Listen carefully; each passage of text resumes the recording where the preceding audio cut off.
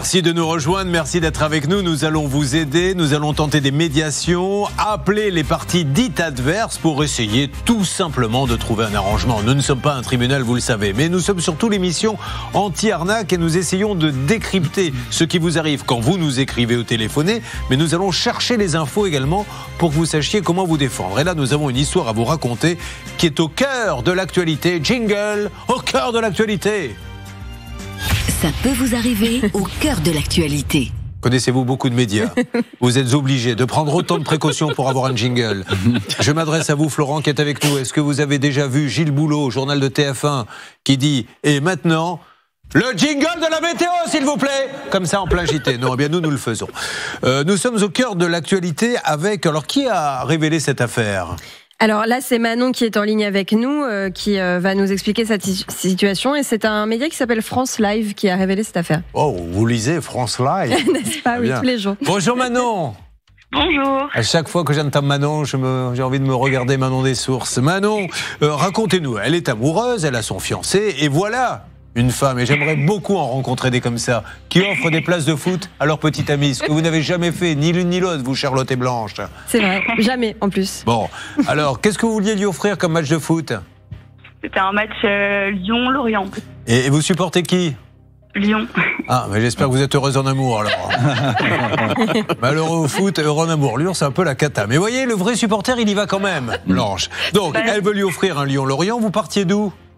On partait de Paris-Gare de Lyon. Parfait. Euh, donc vous achetez deux billets et vous vous êtes dit je ne veux pas qu'il s'aperçoive que je vais lui faire une surprise, donc vous prenez les deux billets à votre nom.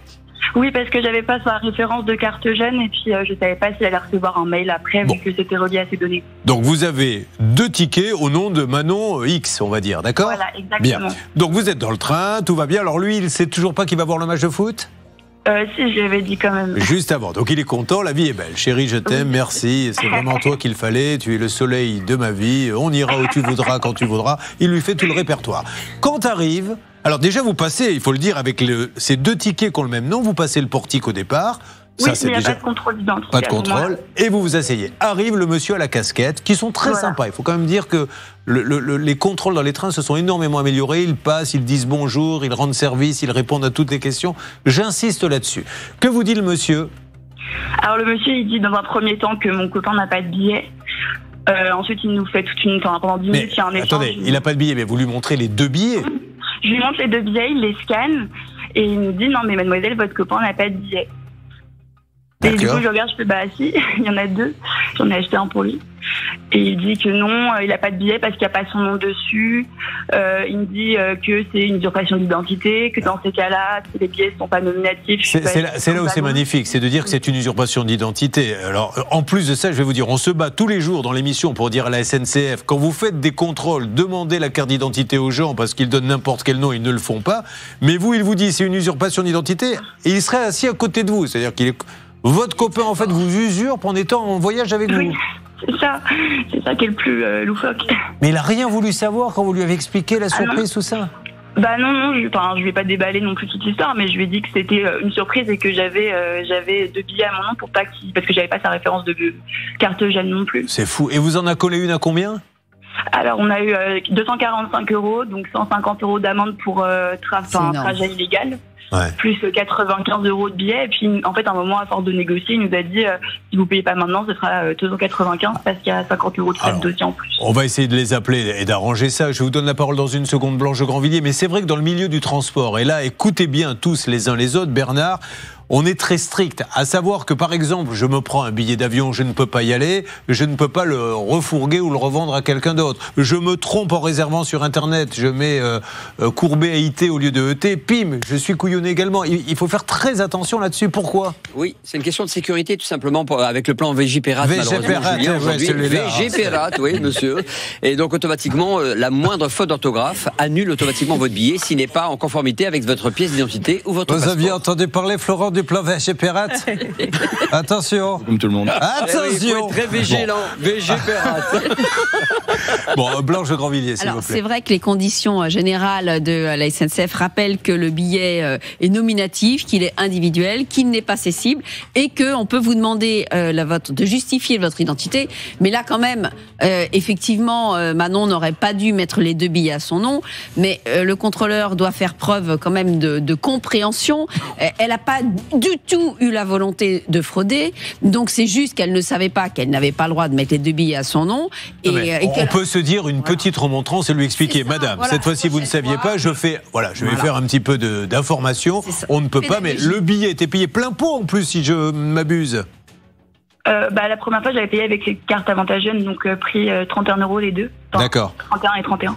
Oui, mais Et, votre, euh, votre conjoint, votre compagnon en avait une aussi de carte Oui, il jeune. il voilà, avait carte il avait. C'est c'est pas comme si. euh, Ils peuvent il- la retrouver en plus, ils tapent le nom, ils Bien retrouvent les sûr, cartes. avec Bon. la date de naissance, il retrouve. On va essayer. Alors, racontez-moi, il a fait le museau pendant tout le match, je suppose?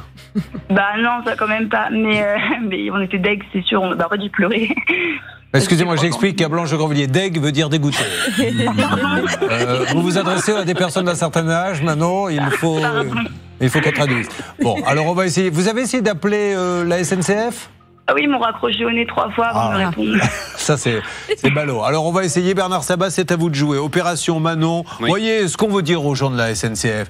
Nous voulons que dans cette émission, l'amour triomphe. Voilà une femme qui veut offrir un match de foot à son copain. On ne va pas quand même la briser dans cet élan. Dans quelques instants, d'autres précisions avec Blanche Grandvilliers. Mais s'il vous plaît, vous essayez d'avoir la Oui. SNCF. Bon, alors il va se passer énormément de choses. Stan, qui est à la queue leu aux appels téléphoniques pendant qu'on essaie d'appeler la SNCF Bah, toujours un autre cas de, qui concerne Ah oui. la SNCF, Julien, puisqu'il faudra qu'on prenne des nouvelles de Laura qui est passée dans l'émission la semaine Eh bien, dernière. on va lui en demander, on va lui faire Oh, oh, Laura, comment c'est pas c'est ton cas Car euh, je rappelle que pour 20 euros et un repas chaud, dans des anniversaires, départ à la retraite, bar mitzvah, je peux faire de mauvaises imitations. On est tous ensemble dans Ça peut vous arriver. Ça peut vous arriver. Bon, alors, appel, vous vouliez rajouter quelque chose Ah oui, bah, vous vous- plaît je voulais vous dire, vous aviez la mémoire courte. Pourquoi Ah, parce que moi, je vous ai offert hein, une place pour un match de foot. Vous dites que je. que Ah, c'est vrai Voilà. C'est vrai Effectivement. Alors, ne m'obligez pas à donner les détails parce Ah, que ça va être terrible pour un, de vos pour un de vos clients. hein. Parce qu'en fait, on lui a fait cadeau la place, mais, Ah elle n'a pas envie d'y aller. l'a non, j'ai dit que j'en voulais une pour quelqu'un qui aimait le foot. et- et j'y étais avec euh, mon fils, si je ne m'abuse, et vous m'avez fait un très beau cadeau. Bah, Eh bien, Je ne l'oublierai pas, c'était un très très beau match. hein. Prenez-en de la graine, ma petite Charlotte. Bah, on vient d'apprendre que vous êtes ensemble, puisque vous avez dit vous n'avez jamais offert de place à votre petite amie. Donc euh, je découvre que vous êtes le petit ami de Blanche. bon, je suis un peu le petit ami de toutes celles qui sont d'accord. moi, Ah. Parce que souvent on me demande quel est ton genre de femme? Je dis, ben, ce sont celles qui disent oui. hein, Qu'est-ce que les je vous dise? Vous aussi un peu maintenant, Hervé. hein. Ah oui, oui, moi je suis d'accord avec vous. Euh, va avoir beaucoup de mal avec ses conquêtes féminines puisque je rappelle, il n'arrive pas à faire la mise à jour de son appel et euh, Oui. l'appel est pour lui quand même un élément de drague essentiel. hein, donc, Eh euh, oui, ça- ça, je suis très ennuyé. euh, Céline, où en est-on avec le Bernardo? Bon, ça avance, alors il nous fait croire qu'il a un contact à la SNCF. Moi, je ne sais pas, j'attends de voir. Il laisse des messages, on va voir si ça va aboutir dans quelques instants. Bon, on va essayer d'avancer sur un autre, parce qu'on rappelle quand même, là on plaisante, mais il y, a un vrai souci. Et nos amis de la SNCF, nous sommes les premiers à dire euh, prenez le train, parce que là pour le coup on parlait d'économie euh, d'énergie et de, pollution. Euh, Prendre le train, c'est quand même magnifique par rapport à prendre la voiture pour faire des, Paris-Bordeaux, des Paris-Marseille, des, des- Toulouse, ce que vous voulez. Donc ça c'est fantastique. Maintenant, il y a des gens qui prennent le train, qui ne paient pas donc de billets, ils n'en ont pas. Et quand le contrôleur arrive, il dit Je vous mets une amende, comment vous appelez-vous? Et là, ils disent n'importe quoi. Alors, soit ils disent n'importe quoi, soit ils ont un copain, ils savent qu'il a une carte, etc. Ils donnent le nom. Et c'est ces personnes-là, après, qui doivent se battre avec la SNCF et qui sont obligés de venir sur ce plateau pour faire admettre à la SNCF qu'ils n'étaient pas dans le train ce jour-là. Euh, voyons si Bernard a pu avoir quelqu'un, je le vois en train de discuter, puis là on va vous parler d'un autre cas qui a avancé. Sur RTL. Manon, je t'aime d'une maladie qu'on ne peut pas soigner, disait Hugolin. Mais Manon, elle a payé une, une place de, de football, mais surtout de train à son copain. Et on lui a dit non, non, non, mais votre copain, comme il n'a pas son nom sur le billet, vous usurpez, vous allez vous prendre une petite amende. On le rappelle à 245 euros. Bernard avance sur ce dossier. En parallèle, qui est avec nous Vous m'avez dit, s'il vous plaît, euh, Stan? C'est Laura. Laura, vous m'entendez? Oui, bonjour. Moi aussi, je vous entends bien, Laura. Vous nous appelez d'où De Childu Carrière à Strasbourg. Chez de quoi Ah, Schiltigheim, je croyais chez Decart, à Carrefour, j'avais entendu. Vous voyez à quel point je suis bouché. En fait, elle disait à Schiltigheim. Qu'est-ce qui vous arrivait Moi, c'est un grand problème. euh, je ne prends pas le train. Il y a, y une personne qui Voilà. prend le train à ma place euh, et je paye ses amendes, les amendes qui viennent chez moi. Je vais à la SNCF. On me dit à plein de personnes que ça peut arriver. Ça peut durer toute votre vie. Vous n'êtes pas la seule. Ça peut être n'importe qui, Mickey, n'importe qui peut être euh, à votre place. Mais ça arrivera, ça continuera. savez, ça il, arrivera un jour, Blanche, où quelqu'un euh, qui a les moyens et le temps attaquera, fera un procès en disant attendez, vous avez accepté que quelqu'un donne mon nom sans vérifier. Aujourd'hui, je me retrouve dans la panade, je demande des dommages et intérêts. Il y a une association qui va finir par le faire. hein. Oui, et ils auront raison parce qu'aujourd'hui, le seul moyen, c'est à la fois de déposer plainte et de faire ce qu'on appelle une plainte avec constitution de partie civile, c'est-à-dire d'être obligé de consigner une somme pour débuter l'enquête pour que ça s'arrête. Et ça, c'est pas normal, Julien. Tout le monde sait, Laura, que vous n'avez pas pris le train. Tout le monde sait que quelqu'un a donné votre nom. Nous avons appelé. Est-ce qu'il y a eu du nouveau, Laura? Il n'y a rien eu du tout. Pour le moment, j'ai pas eu d'amende, mais des fois, j'en reçois trois ou quatre par mois. Voilà. Amis de la SNCF, est-ce que vous êtes là pour faciliter nos transports ou est-ce que vous êtes là pour renfoncer les gens? Parce qu'on en arrive à se poser la question. Elle vous démontre par A plus B, nous vous l'avons démontré, qu'elle n'a jamais pris le train.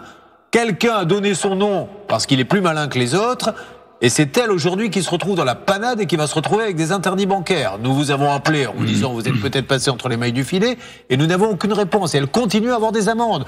Que dois-je faire, ami de la SNCF, pour que ça bouge? Bernard, vous les aviez eus? Qui les avait eus? Bah, écoutez, pour l'instant, c'était Hervé qui, qui avait appelé en parallèle. Il va vous donner Alors, une réponse qu'il vient de recevoir. Alors Hervé, on vous écoute. Je viens de relancer. Je viens de relancer nos amis de la SNCF.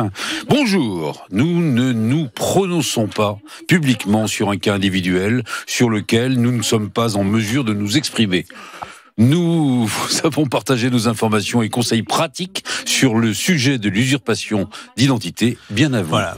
Est-ce que vous, dire, euh, non, mais voilà. vous vous rendez compte quand même que là, la SNCF dit nous n'avons pas à parler, il y a des gens qui donnent des noms. Donc, ce qui est terrible, et, et- je dis ça avec malice, mais je m'adresse à ceux qui prennent le train sans payer. Alors déjà, apparemment, c'est facile de prendre le train sans payer. Puisqu'on ne vous demande rien. Donc euh, les gens, qu'est-ce qu'ils vont se dire? Ben, Tiens, j'ai regardé l'émission de Courbet, il suffit de monter dans le train, de donner le nom de quelqu'un d'autre, et je suis pas ennuyé. Donc déjà, on va développer ça en ayant ce genre d'agissement. Et je m'adresse à ceux qui prennent le train sans payer, ben, donnez des noms euh, au moins de la direction de la SNCF. Voilà, vous allez sur euh, Internet, vous choisissez le nom du patron, du non mais du directeur financier. Au moins eux, après, ils pourront faire sauter l'amende. Parce qu'elle, la pauvre, elle est plantée. Et, et je le dis, il y a peut-être une association qui réagira à un moment ou à un autre. Il ne faut pas laisser faire. On ne peut pas laisser comme ça la SNCF accepter n'importe quel nom. Et, et la pauvre, elle a rien demandé, elle est dans la parade. D'ailleurs, j'aimerais bien que vous réagissiez les uns et les autres si ça vous est arrivé au 32-10 et que vous nous disiez un petit peu euh, comment faire. Vous inquiétez pas, hein, on va relancer une nouvelle fois. Redonnez-moi le nom de, de ce grand patron de la SNCF, je ne l'ai pas sous le nez. Jean-Pierre Farandou. Monsieur Farando, s'il vous plaît, soyez sympa. euh, Que vous ne vous expliquez pas publiquement, ce n'est pas grave. Je veux juste que vous compreniez que cette dame, elle est en colère, elle en peut plus, qu'elle va se retrouver interdit bancaire parce que vous laissez des gens donner des noms sans vérifier les cartes d'identité.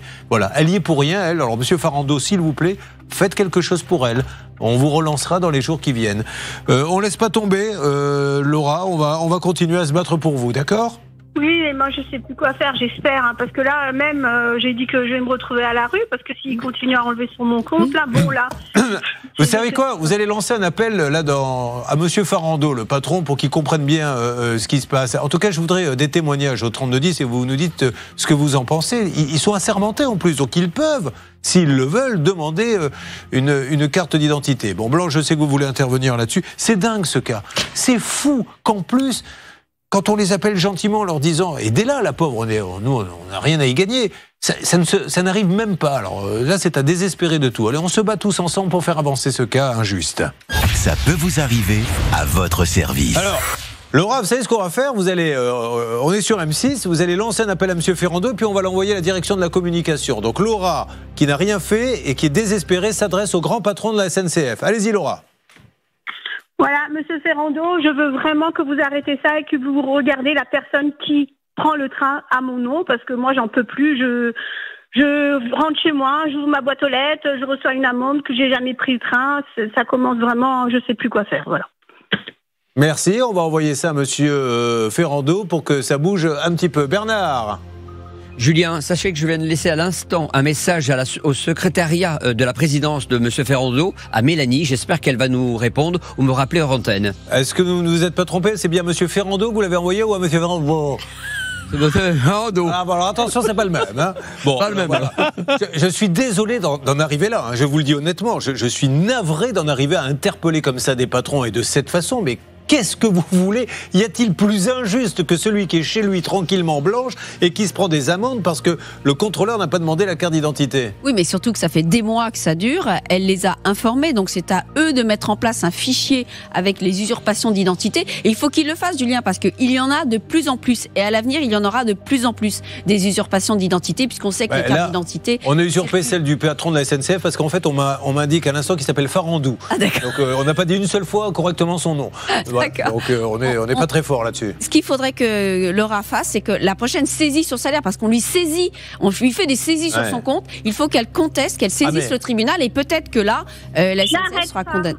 Et ben voilà, faut la... et ensuite il y a un tribunal qui Non, non, juge. mais là, vous savez quoi? Il faut que ça soit réglé aujourd'hui, cette histoire. Alors, on va appeler eh, euh, Bernard, Hervé, Céline à tour de rôle. Oui. Euh, jusqu'à la fin de l'émission, on appelle jusqu'à ce qu'on ait une réponse. Voilà, amis de la SNCF, nous, on ne veut pas exagérer. Si, si on peut même trouver un envoyé spécial qui, a, qui est au, au siège de la SNCF, c'est pas possible. Vous pouvez pas, cette femme, Noël arrive, elle vit une catastrophe à cause de vous. Donc, euh, s'il vous plaît, il faut maintenant que ça bouge, elle n'en peut plus.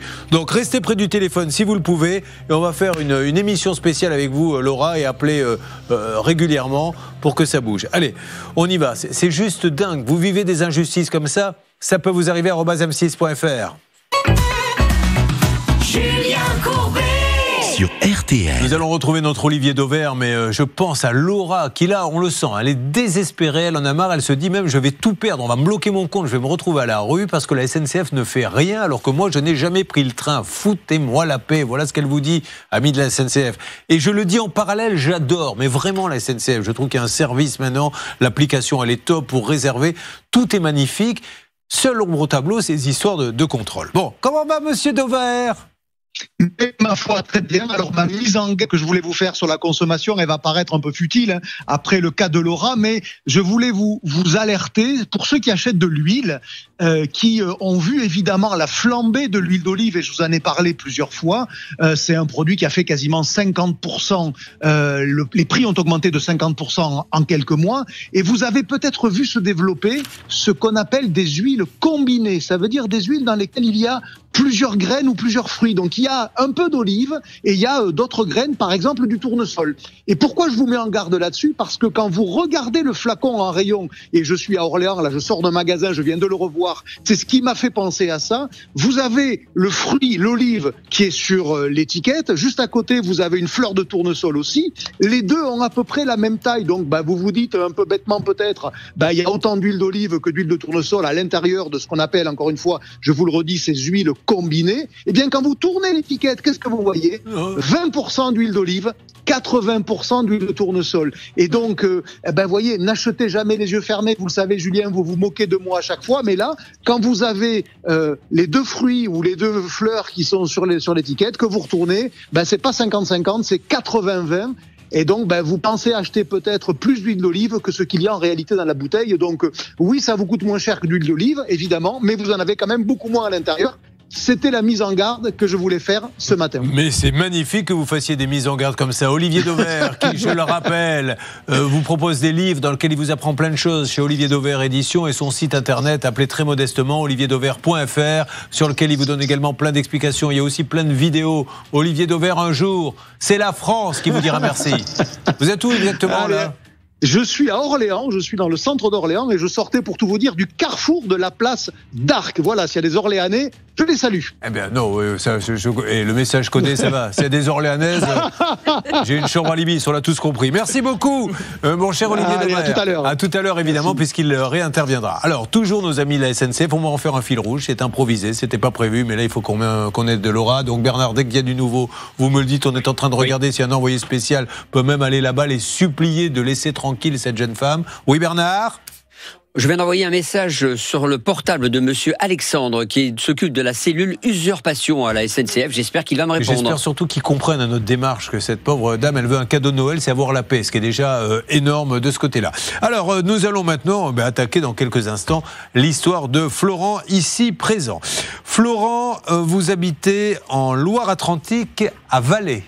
C'est ça C'est ça. VA de Zalotae. Que se passe-t-il là-bas, Céline? Un homme euh, vient d'être rattrapé par la police parce que hier matin, euh, du côté de Nantes, au marché de Noël, on en parlait tout à l'heure, eh bien, il a volé des jeux. Donc, euh, les jeux étaient en vente sur un stand. Il a dérobé une dizaine de jeux pour un préjudice de 200 euros. Il a été rattrapé par la police.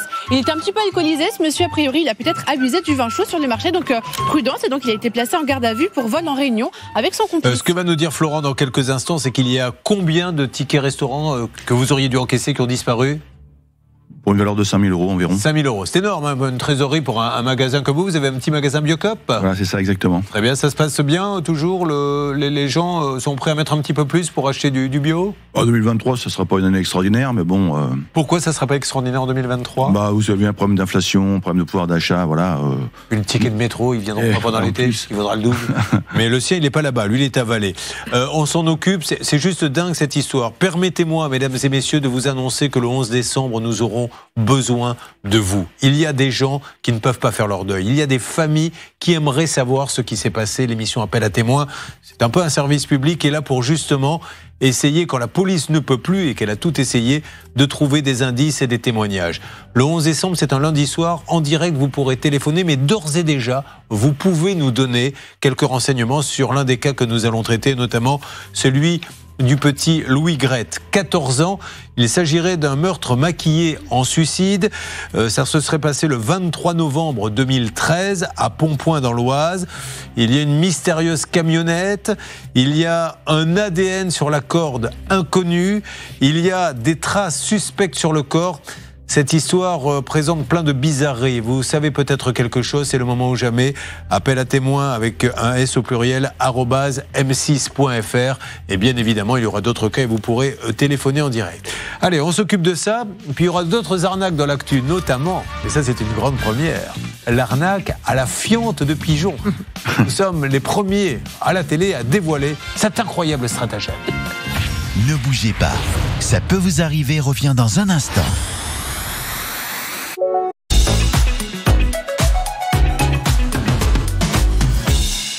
Merci d'être avec nous, mesdames et messieurs. Nous allons nous attaquer dans quelques instants au cas de Florent, lancer des coups de fil, mais tout de suite une petite alerte arnaque.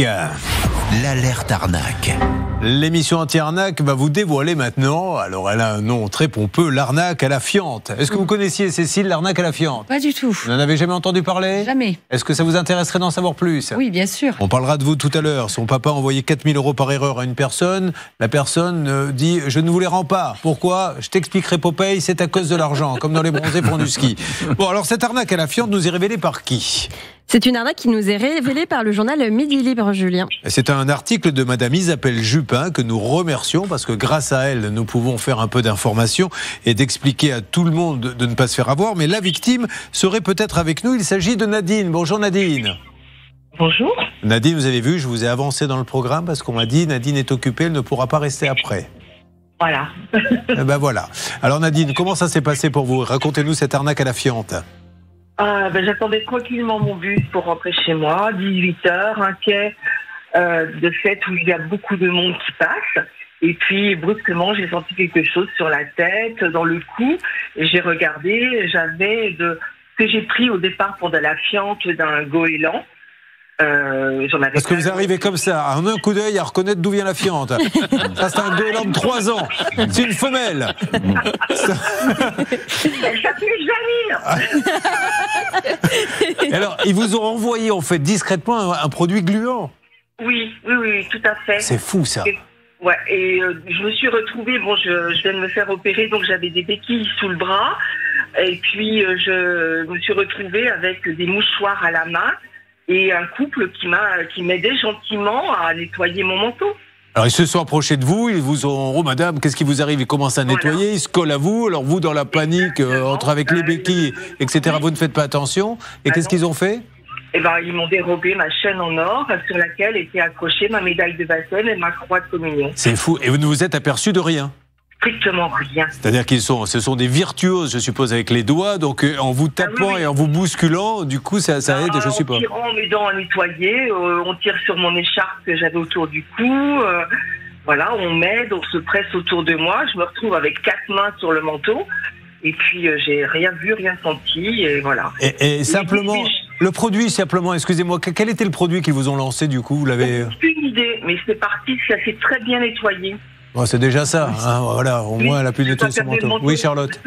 Non, bah, c'est marrant. Moi, il y a quelques semaines, je pensais être victime d'une arnaque à la fiente, mais non, c'était une vraie grosse fiente que je me suis pris en pleine face. Eh bien, écoutez, vous voyez, il y a une justice. C'est le petit Jésus qui vous a puni d'être aussi méchante avec moi. En tout cas, j'ai bien dressé ce pigeon et je lui ai dit regarde où elle habite, fais-lui comprendre que ça ne peut pas se passer comme ça. Bon, euh, euh, bon aujourd'hui vous en riez, mais il valait combien le petit collier? Bah, une chaîne en or, euh, une médaille, une croix de communion. Enfin, la valeur marchande, à la limite, elle n'a pas de, pas de valeur. Ouais. Mais c'est surtout la valeur sentimentale, quoi. Jamais je retrouverai une médaille de communion, jamais on me offrira une croix de. de- Bien sûr, Voilà, ça, ça peut être en plus des bijoux de famille. Non mais euh, euh, Bah, non, voilà, c'est les premiers bijoux qu'on reçoit quand on est enfant, donc c'est une valeur sentimentale inestimable. Merci en tout cas de nous avoir euh, raconté ça, Nadine, et merci à Isabelle Jupin du Midi Libre que vous retrouvez chaque jour. Excellent quotidien. Je vous souhaite une bonne journée, Nadine. Merci de nous avoir euh, raconté ça. Maintenant, on va voir avec Blanche de Grandvilliers un petit peu plus tard comment on peut se porter plainte. Vous suivez, ça peut vous arriver. Alors, avant d'a- d'aller plus loin, euh, c'est une technique vraiment pour si vous, si vous avez pu voir des, des- numéros de cabaret, vous avez des gens maintenant qui simplement s'approchant de vous, vous enlèvent une montre. Moi, j'avais une démonstration sur un plateau d'une autre émission où quelqu'un venait me parler et en fait, il m'avait tapé là et avec l'autre main, il enlève carrément la montre. Donc, sachez-le. Dès que des gens s'approchent de vous, bas les pattes, on recule. hein. Oui, alors ils choisissent bien leur victime, euh, Julien. Voyez, Elle a des béquilles. Voilà, Eh elle a des béquilles, elle a des bijoux, elle a des bijoux facilement accessibles. Ils sont très très malins. Alors, euh, le vol avec ruse en soi n'est pas condamné plus sévèrement qu'un vol normal qui est 3 ans de prison, mais le vol avec plusieurs personnes, le vol avec complice, c'est quand même 5 ans de prison et 360 375 000 euros d'amende au maximum. Et on va euh, déjà soigner un petit peu euh, Cécile. hein. Qu'est-ce qui c'est elle a, elle a dormi sans chaussettes? Vous avez attrapé froid? Oui, je pense. Vous arrivez d'où, vous? Vous arrivez d'où? Bah Oui, vous êtes arrivé quand hier soir ou ce Hier matin soir. Ah très bien, c'est peut-être à l'hôtel, vous avez dormi la fenêtre ouverte Oui. Ah bah ouais, bah alors là c'est pas la saison, là je vous le dis tout de suite, il devait faire moins 5 cette nuit. Bon, euh, Cécile, on va s'en occuper dans quelques instants. Merci à notre JB National, hein, qui a un podcast d'ailleurs, on, on- on dévoile très rapidement les arnaques, on les explique, on les décrit pour que vous ne tombiez pas dans le panneau. Et ensuite, je crois euh, que dans un podcast, JB resynthétise tout ça, mon Stan, on est bien d'accord? Exact, il resynthétise tout ça et vous pouvez par exemple retrouver ce podcast sur l'arnaque à la fiente en allant sur la page Facebook, ça peut vous arriver. L'impression que vous êtes euh, content de parler de fiante aujourd'hui. Euh, Vous avez un petit sourire, Stan. Tant mieux si ça vous met en joie. Est-ce que vous connaissez William, Stan? Ah, je le connais, William, oui. Oui, Parce qu'il est là. Il voulait vous dire bonjour? Si vous voulez dire bonjour à Stan, c'est bah, le moment. Bonjour Stan. Il n'en a rien à Ah, écoutez, faire. bonjour, William, il a bien raison. ravi. Il a emménagé dans sa nouvelle maison. Il a découvert d'importantes infiltrations. Nous verrons tout ça et nous allons l'aider. Donc à partir de maintenant, il y a plein de coups de fil, mesdames et messieurs, qui vont arriver sur M6. Salle des appels. Hervé Pouchol, Céline Collonge, Bernard Sabat sont au taquet. Julien Courbet. RTL. Florent, si tu es champion, appuie sur le champignon. Voilà ce que j'ai envie de vous dire, car il va falloir maintenant me raconter ce qui vous arrive et nous allons vous accorder très généreusement 45 secondes. Mettez-lui la musique avec le chronomètre. Si à l'issue de ces 45 secondes, vous n'avez pas réussi à synthétiser votre histoire, malheureusement, vous repartirez une main devant, une main derrière. Top, c'est à vous. Que vous arrive-t-il, Florent Euh, on a effectué pour euh, le magasin un envoi de tickets restaurant au mois de mai. Euh, un envoi qui se fait euh, donc euh, comme, enfin, comme on fait d'habitude avec un, un accusé réception. L'accusé réception a été signé euh, par personne qui réceptionne. Par personne qui réceptionne. Sauf que euh, les tickets en fait ont été égarés par euh, cette personne qui a réceptionné. Ils ont signé, mais ils ont euh, ils ont égaré les. euh, Tant mieux. Voilà. C'est ce qu'on verra avec Blanche de Grandvilliers. À partir du moment où ils ont signé, j'ai l'impression que c'est plus son problème. hein. On a bien le justificatif là de de, de, de l'accusé réception signé. Euh, malheureusement, les les. Vous allez vous faire avoir sur le temps, je vous le dis. Pardon? Vous allez vous faire avoir sur le temps, vous traînez trop. Boulambine. Ben oui, je le sentais bien, il était en queue de peloton, je lui faisais signe, mais je voyais bien. D'ailleurs, Cécile elle-même était sur son siège en train de trépigner, voulant dire va plus vite, tu vas te faire avoir. Bon, alors voilà, l'histoire elle est simple. Euh, alors, est-ce que juste une question, ces tickets restaurants qui ont été égarés, est-ce qu'ils auraient pu resservir? Est-ce qu'ils auraient pu être piqués ou pas du non, tout? puisque euh, ils sont euh, ils sont découpés. Bon, alors c'est et ils sont tamponnés. donc c'est juste une perte. Voilà. Nous avons donc un honnête commerçant, car vous êtes un honnête commerçant. Je pense. Voilà, qui envoie ses tickets, ils sont réceptionnés, on doit lui envoyer les sous à réception du ticket, il y a le tampon, on a bien réceptionné, on les perd, ce qui peut arriver, mais on ne vous rembourse pas, question habituelle. Que vous dit-on quand vous les appelez en leur disant euh, pourquoi vous ne me remboursez pas Euh, le dossier est en cours, euh, on va on va donner suite, mais en fait euh, depuis le mois de mai, on n'a Mais- absolument aucune nouvelle. Donc un petit 5000 euros de trésorerie. Alors, euh, s'il vous plaît, Charlotte, quelques petits détails et ensuite on lâche Blanche de Grandvilliers à qui il a fallu apprendre ce qu'était un ticket restaurant parce que vous doutez bien que dans les restaurants où elle va, on n'utilise pas des tickets restaurants, mais uniquement des bifetons de 500. Il y a encore des restaurateurs qui les acceptent parce qu'il faut bien qu'elle les écoule. Elle en a un hangar entier. Euh, La Charlotte. difficulté de ce dossier, c'est qu'on a quatre interlocuteurs, Mmh. puisque désormais, les tickets restaurants sont payés par euh, chaque organisme qui les propose. Auparavant, il y avait un genre de centre de traitement qui récupérait tout ça, qui payait les restaurateurs ou euh, les euh, gérants de commerce alimentaire, et ensuite euh, qui renvoyait l'argent à euh, Edenred, Sodexo, etc. Aujourd'hui, c'est plus le cas. Chacun paye directement et euh, ça crée un vrai couac. Euh, D'ailleurs, on a fait un dossier similaire il y a quelques temps et on se rend compte d'une multiplication de ce genre de dossier parce que les tickets restaurants sont perdus et qu'ensuite c'est une vraie galère pour euh, obtenir gain de cause. Mais est-ce qu'il n'y a aucune chance qu'ils soient récupérés Parce que ça fait quand même beaucoup de tickets restaurants qui sont perdus. Ils peuvent pas les, je sais pas, les, les remettre dans le- sur le circuit d'une manière ou d'une autre. C'est impossible, ça. Après, le plus simple, ce serait que les, euh, les gens à qui on a expédié les tickets restaurants fassent marcher leur- leur- leurs assurances. Non, non, mais est-ce qu'il ne peut pas y avoir une escroquerie derrière dont serait victime l'entreprise des Non, tickets parce que je restaurants vous dis, euh, ils sont, Ils sont tamponnés. euh, ils sont tamponnés. euh, voilà, il n'y a pas de. Alors, Blanche. A priori, on a la preuve qu'ils ont bien été reçus parce qu'il y a une partie des titres partie, oui. qui ont été donc même indemnisés, remboursés euh, à Florent. Mm. Ce qui veut bien dire que les tickets restaurants étaient là et ils ont été perdus parce qu'on appelle le centre de tri. Je sais pas si on peut l'appeler Oui. ça. Voilà. Et euh, en effet, Julien, c'est lui qui est responsable, c'est lui qui est dépositaire et c'est lui qui doit faire marcher son assurance. Ce Il y a rien d'autre à dire. C'est que ça peut arriver. Enfin, je veux dire, il n'y a même pas à discuter là-dessus. Ils ont le droit de perdre, comme on perd tous quelque chose. Ce qui est- Ce bête, c'est de se dire que ce pauvre commerçant, une fois qu'on sait que c'est perdu, bah, c'est perdu. On le rembourse, on n'en parle plus. Vous les avez tamponnés, qui en avait pour 5000. Non, on dit on attend, c'est en cours. Et pendant ce temps-là, lui, c'est quand même 5000 euros, un petit trou dans la trésorerie, quoi. hein. Complètement. Donc vous êtes obligé, pour compenser, euh, de demander à vos employés de piquer dans les sacs des- des- de vos clients du Biocop des porte-monnaies, des choses comme ça, pour vous refaire. Et vous avez raison. Oui. Voilà. Vous me rappelez ce monsieur qui était venu dans l'émission sans aucun doute, je m'étais trompé. Et je lui fais comme ça, il était assis comme vous. Donc monsieur, votre maison s'est effondrée? Il me fait euh, oui. Et donc vous vivez dans votre voiture maintenant? Euh, Oui. Donc c'est vraiment la galère Euh, Oui. Au bout d'un moment, je dis, vous pouvez pas me dire que oui, expliquez-moi. Il me dit, non mais en fait, je suis pas là du tout pour ça, moi c'est un problème de voiture. J'ai dit, mais fallait me le dire dès le début, que je m'étais trompé de personne. Il n'osait pas comme vous.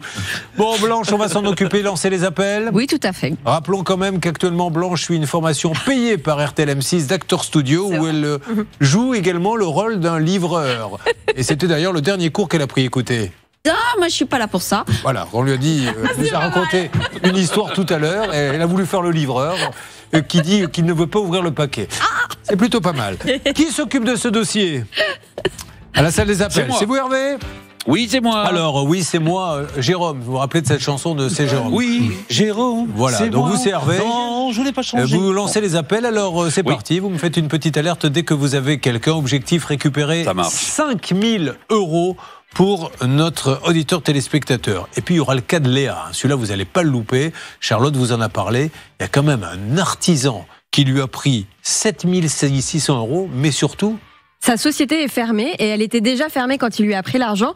Et on va se rendre compte dans ce dossier qu'il y a une véritable, je pense qu'on peut le dire, magouille pour continuer à exercer alors qu'il n'est plus censé le faire. C'était l'émission anti-arnaque, c'est en train de devenir l'émission anti-magouille. Restez avec nous pour en savoir plus. Et puis, bien sûr, Cécile, William qui sont dans notre studio. Nous sommes là pour vous aider. Négociation pour faire avancer vos dossiers. Chacun fait une petite part du chemin et tout le monde repart content. C'est ce que nous essayons de faire en tout cas. Ça peut vous arriver. Alors, là-haut, vous allez voir qu'on est quand même une. euh, Comme ça, quand on regarde M6, on se dit, tiens, une bande de guignols. Mais en fait, on s'aperçoit en creusant un peu qu'il y a quand même un peu de sérieux et que tout le monde se partage le travail. Alors, Stan, voulez-vous nous expliquer la stratégie? Parce que là, euh, je vois ce plan où je vois les six personnes, là, on va le remettre. Il a une vraie stratégie d'équipe. Pouvez-vous nous en dire plus, Stan, s'il vous plaît? Comme Charlotte vous l'a expliqué, il y a quatre organismes en fait qui doivent de l'argent. Et donc nous avons d'un côté Hervé qui s'occupe d'appeler Sodexo qui doit exactement 1028 euros. Nous avons Céline qui elle s'occupe d'appeler Edenred qui doit 900 Bah, Elle euros. s'occupe d'appeler, elle appelle personne, là. hein. Elle sourit et elle est en train de faire un petit coucou à sa famille. euh. Non, mais c'est bon, j'ai déjà appelé, j'ai même Ah. envoyé un texto parce que comme Ah ouais, on connaît bien cette société, maintenant j'ai des petits contacts. Oui, mais alors, ceci étant dit, faites comme Bernard Sabat, faites semblant, parce que c'est toujours embêtant quand on est en train de dire Et Céline, qui est en train d'appeler actuellement, et vous la voyez Non, elle n'appelle pas. Et alors, Bernard, vous, avec euh, votre téléphone qui a un fil qui pend Oui, je suis en contact avec Up Coupe. Mais c'est branché à plus grande, rien. évidemment. Oui. non, mais. On va me mettre avec le service client en contact, Julien. Je vais vous connecter dans quelques Bon, secondes. Alors, voyez que ça va bouger. Ils sont trois euh, sur le coup. À partir de quel moment, alors, on peut comprendre qu'une entreprise dise je dois mener ma petite enquête. Ça, c'est compréhensible. Mais à partir de quel moment on peut se dire attendez, les gars, je vous ai signalé en mai que j'avais perdu, que vous n'avez pas payé, juin, juillet, août, septembre, octobre, novembre, ça commence à faire long, quoi. C'est ils l'entendent pas quand vous leur dites. Non, en fait, il y a, il y a- il y a vraiment euh, une lourdeur euh, dans tous les organismes qu'on a pu contacter. euh, si, si vous voulez, il n'y a, il y a aucune suite. Quoi. Ils n'ont pas de problème de trésorerie, ces gens-là, ça se marche très bien. C'est d'ailleurs de très belles boîtes, il faut le dire. Oui, Blanche. Oui, en fait, les autres, les autres organismes, a priori, ne sont pas responsables. Sauf à ce qu'ils nous démontrent que ce sont eux qui les ont perdus. Mais ça semblerait étonnant que les trois autres organismes, les trois autres organismes, pardon, aient perdu les tickets restaurants. Donc, je pense que le Alors. responsable, c'est le centre de tri. Pourquoi nous avons de l'espoir? Car nous avons eu un cas similaire. Vous vous en rappelez, Charlotte, Oui. dans cette émission? Eh bien, figurez-vous, et là, je vous assure, je, on vous baratine pas, il vient de nous appeler, ce cas similaire. Donc, Charlotte va nous rappeler le prénom de ce monsieur ou de cette madame. Patrick. Patrick, il devrait être en ligne d'une seconde à l'autre. Qu'est-ce qui lui était arrivé au Patrick? Bah, exactement la même chose. Alors lui, il est restaurateur, euh, mais euh, comme euh, notre ami Florent, il reçoit des tickets restaurants, évidemment, il est payé comme ça en partie. Et on lui, il lui manquait 1500 euros, puisque lui aussi, il avait euh, envoyé des titres restaurants à tous ces organismes. Et là aussi, il y avait eu des pertes. Alors, Patrick, vous m'entendez? Oui, Julien, je vous entends. Alors, euh, la ligne n'est pas super bonne. Patrick, vous nous appelez d'où Je vous appelle de Saint-Marc, dans la Somme. Très bien. Alors à Saint-Marc, dans la Somme, on va lui couper un peu la musique parce que je l'entends très lointain. Euh, vous étiez venu donc nous expliquer ce qu'a dit Charlotte. Nous avions appelé. Qui s'était occupé de son cas d'ailleurs là-bas, la salle des appels C'est vous, Céline Oui, c'est la petite collonge. tout C'est la petite Collonge qui s'en était occupée. Alors qu'est-ce qu'il a à nous annoncer aujourd'hui? Eh ben, nous avons été réglés dès le lendemain. Ah. euh, par Edenred, euh, par, euh, avec euh, mille excuses euh, d'un monsieur qui s'est excusé euh, mille fois.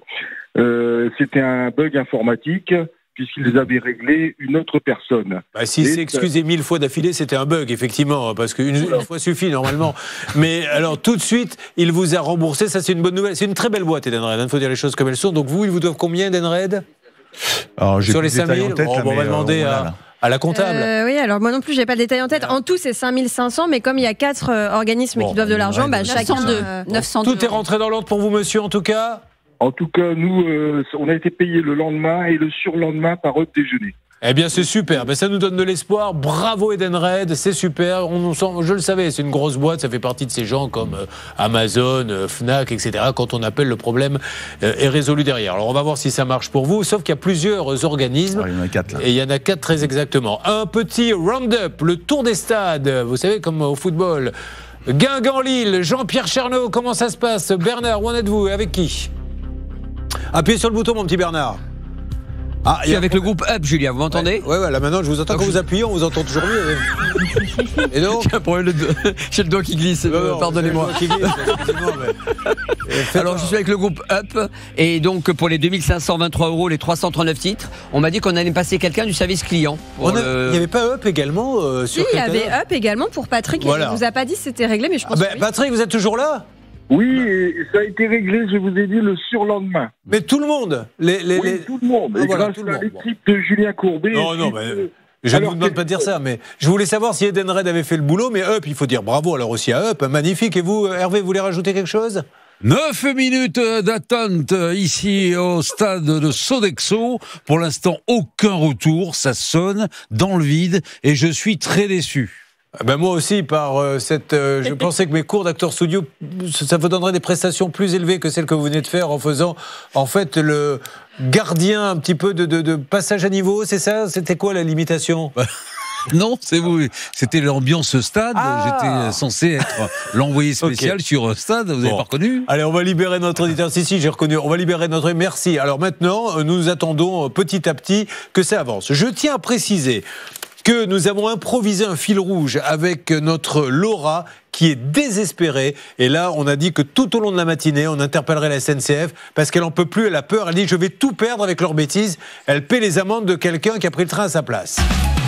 Julien Courbet sur RTL. Nous sommes avec Florent. Voulez-vous, s'il vous plaît, Charlotte, résumer ce qui arrive à Florent car nous avons du nouveau. Euh, Bernard aurait quelqu'un en ligne. Florent a un commerce d'alimentaire bio et aujourd'hui, on lui doit 5000 euros euh, de titres restaurants puisqu'il les a envoyés à un centre de traitement qui les a perdus. Et aujourd'hui, quatre organismes lui doivent au total 5000 euros. Il y aurait cinq sociétés.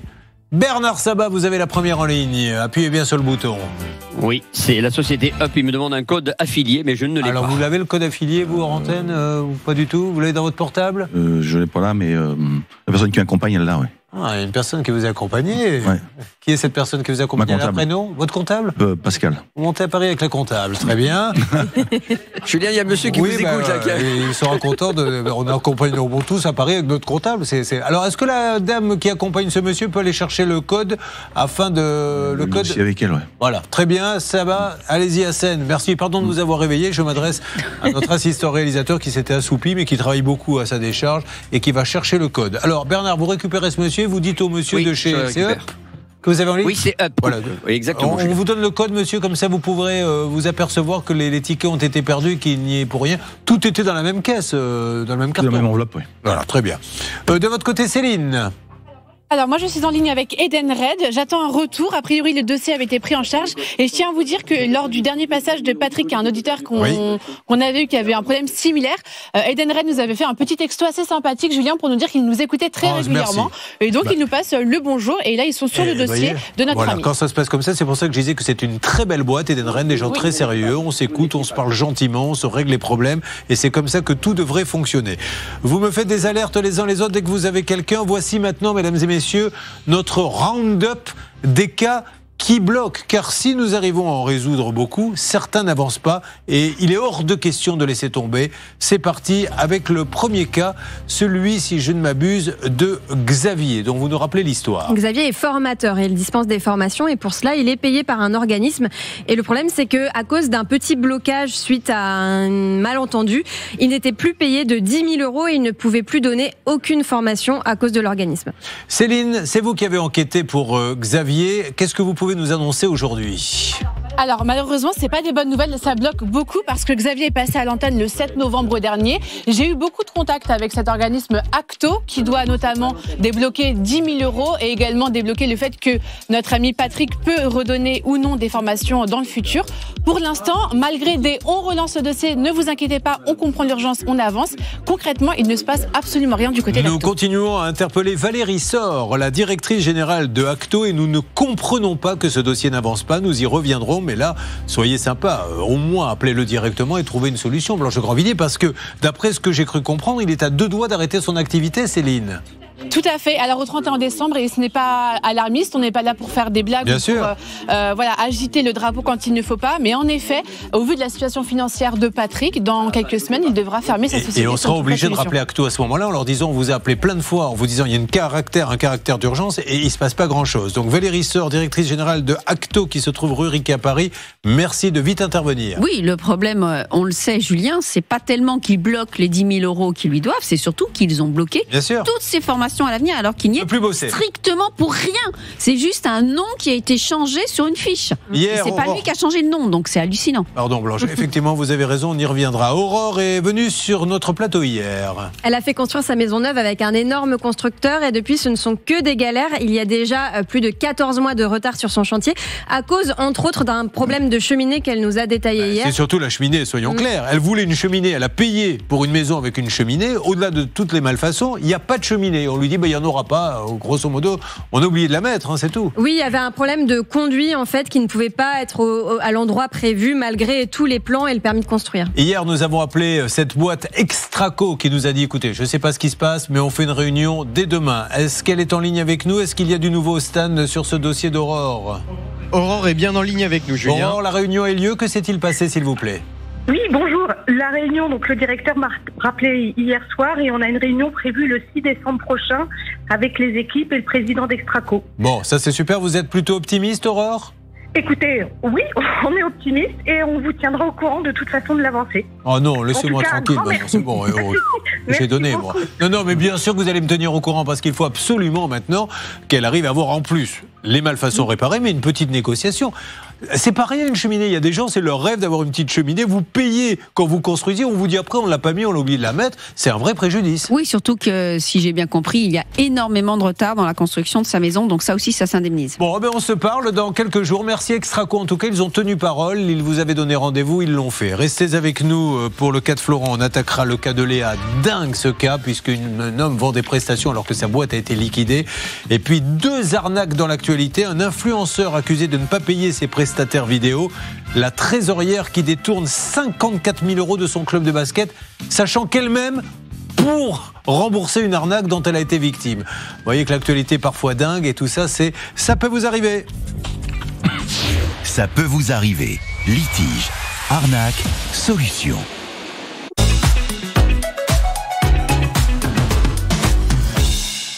Merci d'être avec nous et avec Blanche Grandvilliers, votre avocate. C'est l'émission anti-arnaque que vous suivez. On attend à n'importe quel moment du nouveau pour Florent. 5000 euros qui ont disparu de tickets restaurant. Si vous avez quelque chose, vous me le dites, Céline. Sinon, euh, on enchaîne et puis vous me ferez des alertes au fur et à mesure. D'accord D'accord, on fait comme ça. Ça bouge beaucoup, en tout cas, en salle des appels. On se bat pour ce dossier. On est tous au téléphone et on Et avance. puis il y a toujours le cas de notre pauvre, c'est Laura, je crois, hein, qui demande, qui implore, qui se met à genoux, qui hurle à la SNCF, laissez-moi tranquille, je n'ai pas pris le train, il y a quelqu'un qui prend le train à ma place et vous m'envoyez les amendes parce qu'il donne mon nom et vous ne vérifiez pas sa carte d'identité. Elle est venue ici nous dire, je n'ai plus d'argent, je vais finir par me faire virer de mon appart. Arrêtez s'il vous plaît, on a appelé la SNCF qui a répondu, on ne répond pas publiquement à ce genre de choses, Euh, on va voir, etc. Et il se passe rien. Donc euh, vraiment, aujourd'hui, on a décidé d'en parler tout au long de la matinée. Mais là, attention, retour sur l'actualité. Ça peut vous arriver au cœur de l'actualité. Alors vous savez que le métier d'influenceur explose. hein. Maintenant, il y a vraiment énormément, énormément de gens qui gagnent leur vie en faisant euh, de l'influence sur les réseaux sociaux, notamment un influenceur qui a beaucoup d'abonnés et qui vend des formations. Alors parlez-nous un petit peu de lui d'abord. Alors, c'est un monsieur, je ne sais pas si je vais vous donner trop d'informations pour pas euh, révéler encore euh, de qui il s'agit. Si je vous donne des informations sur son profil. ça C'est-à-dire, on risque- peut essayer d'appeler d'ores Oui. et déjà, et comme ça, euh, dès que nous l'aurons, Voilà. nous pourrons en parler. Grosso modo, il commande des vidéos à des prestataires. Voilà, en fait, il, il- lui, il se filme, il fait des vidéos et il demande à des prestataires de créer un montage de ces vidéos pour qu'il puisse en- ensuite les publier sur ses réseaux sociaux. Co- co- Comme on fait nous ici à la télé, dans Voilà. les reportages, quand vous voyez des, des JT, etc., il y a des petits reportages et il y a ce qu'on appelle un monteur qui prend toutes les images qu'a ramené le journaliste et il en fait, en- il, euh, il y a 10 minutes d'image, il en fait une minute 30 pour en faire un reportage. Et c'est ça qu'il ne paye pas. Et ce qui est hallucinant dans ce dossier, c'est qu'il n'y a pas de contrat de travail, pas de facture, pas de devis, rien. Tout ça s'est fait un petit peu euh, avec des échanges de SMS qu'on a, hein, qu'on a récupérés. Bien. Donc évidemment, euh, tout ça est prouvé, mais ça- ils se sont contentés de s'échanger des SMS pour savoir combien seraient payés les uns et les autres. On fera un petit point de droit, contrat de travail, parce que c'est vrai qu'il vaut mieux avoir un vrai contrat de travail, mais à partir du moment où on travaille, attention, le contrat existe de fait, vous nous direz ça dans une seconde, je veux juste qu'on qu'on accueille la personne qui a été lésée, enfin, l'une des personnes qui est là, Stan. C'est Julien qui est en ligne avec nous, euh, un monteur qui dit ne pas être payé justement par cet influenceur. Bonjour Julien. Alors Julien, il va falloir parler bien fort. Déjà, première question, avez-vous un kit main libre ou un, un haut-parleur? Je peux me mettre en haut-parleur. Ah non, non, vous mettez surtout pas en haut-parleur. Ça, c'est terrible. Si vous faites ça, vous déclenchez une guerre mondiale. Euh, non, non, il faut pas de haut-parleur ni de kit main libre. Allez-y, bah, parlez-moi. parle bien fort, alors. Voilà, parlez. Merci beaucoup, Julien. Comment vous a-t-il contacté cet influenceur? Alors, c'est moi qui l'ai contacté pour le, le recrutement des monteurs. Il poste des stories sur Instagram. Et il offre, en fait, euh, des postes de monteurs euh, via Instagram. Donc, il passe des annonces sur Instagram. Je recherche des monteurs. Vous avez répondu, c'est OK. Quel est euh, le prix du montage à la journée, par exemple? Alors, c'est un forfait au mois. Et à la base, on était sur une base de 1000 euros plus 300 euros de prime. Vous travaillez euh, chez vous où vous voulez. Il vous envoie, vous, les rushs, ce que l'on appelle tout ce, tout ce qu'il a tourné. C'est vous qui devez faire le montage. Tout à fait. Bien. Euh, vous avez été payé à un moment donné, puis ça s'est espacé. Racontez-nous. C'est ça. Alors, j'ai commencé en septembre 2022. Donc, au début de la collaboration, tout était nickel. On avait les 1000 euros plus 300 euros de prime, qui était un petit peu au feeling. C'est-à-dire que si on rendait tout à l'heure, on avait les 300 euros. Et au fil de l'année, après janvier, février euh, 2023, il a décidé de baisser les, les salaires. Donc, on est passé à 800, 850. Alors ça, c'est la deuxième question, vous notez Blanche, qu'on vous posera. Donc la première sur les contrats de travail. La deuxième, c'est est-ce qu'on peut décider au bout d'un moment de dire, bah, tiens, maintenant c'est la même chose, mais moins bien payé. Continuez, monsieur. D'accord, euh, donc 850 et euh, on arrive au fur et à mesure du temps, les salaires qui arrivaient à la fin, euh, le, 20 à la- le 28 de chaque mois, de, de la fin de chaque mois. Ensuite, ça s'est espacé, c'est arrivé le 5, le 10, le 15. C'est-à-dire que ça arrivait euh, toujours le 28, mais pas du bon mois, quoi, visiblement. Oui, c'est-à-dire qu'après après un an, au lieu d'être payé par exemple le 28 septembre, on était payé le 16 octobre. Oui, c'est ça, un mois plus tard. Euh, Aujourd'hui, combien êtes-vous dans ce cas, Julien, à peu près, à votre connaissance? Euh, 4. Et quand vous l'appelez en disant, mais on n'a pas été payé, etc., qu'est-ce qu'il vous répond, ce monsieur? Il continue à, à publier d'autres vidéos qui, du coup, sont montées par d'autres personnes parce que vous avez dit stop, vous? Oui, moi j'ai dit stop euh, à la moitié du mois dernier, donc mi-octobre. Mais comme il y a un très gros turnover, vous savez, c'est un petit peu comme euh, dans les chaînes de fast-food. Il reste trois mois, après ils abandonnent, ils en prennent d'autres, ils les remplacent. En fait, on est très remplaçable.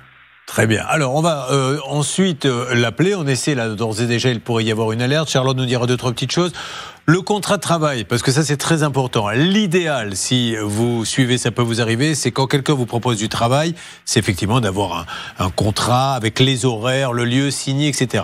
Néanmoins, s'il n'y en a pas, il ne faut pas croire que vous êtes complètement démuni. Le simple fait de venir travailler, de répondre à des ordres, c'est déjà un contrat de travail. Oui, et généralement, bah alors on va voir que dans ce cas, c'est pas le cas. mais Généralement, on vous remet une fiche de paye, même si vous n'avez pas de contrat de travail. Il faut rappeler que la seule fois où le contrat de travail n'est pas obligatoire, c'est quand c'est un contrat à durée indéterminée et à temps plein. Là, le contrat de travail n'est pas obligatoire. Dans tous les autres cas, donc si c'est un CDD ou si c'est un contrat à temps partiel, le contrat de travail est obligatoire. Et si vous ne l'avez pas, eh bien l'employeur, évidemment, c'est l'employeur, hein, parce que c'est lui qui doit faire le contrat, risque une amende importante. Julien. N'oublions pas que pour se ménager l'épreuve, il existe un outil que on n'avait pas nous il y a très très longtemps, c'est l'internet, le mail, Ça. le simple fait de dire bonjour monsieur, j'ai pris aujourd'hui mon travail, euh, euh, je- voilà pour avoir des preuves que vous avez euh, bien du boulot, etc. Bon, Euh, vous vous pensez, quel quel est votre sentiment monsieur sur ce sur cette personne?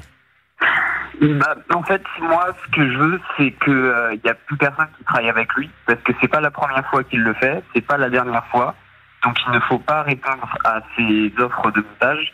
Il finit par trahir tout le monde, au final. Et là vous Et, avez été euh, plumé de combien vous Julien? Euh, bah, j'ai travaillé du 1er au 17 octobre et j'ai rien reçu. J'ai été bloqué par les managers.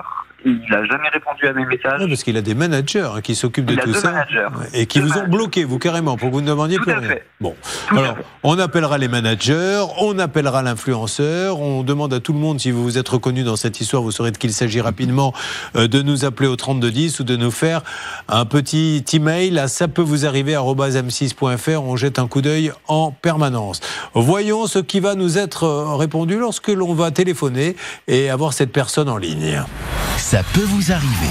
Euh, pour que vous compreniez bien, on est sur M6. Stan, vous vouliez nous montrer Concernant quelque ces, chose accusations, concernant ces accusations, Julien, il a répondu à sa communauté sur YouTube. Alors lui dit avoir payé tout le monde et surtout, ce qu'il dit, bah, finalement, c'est que si ces gens euh, lui, demandent de l'argent et euh, font des tweets euh, en ce sens, c'est notamment à cause de sa popularité. Je vous propose de regarder un extrait de sa réponse sur YouTube. On y va.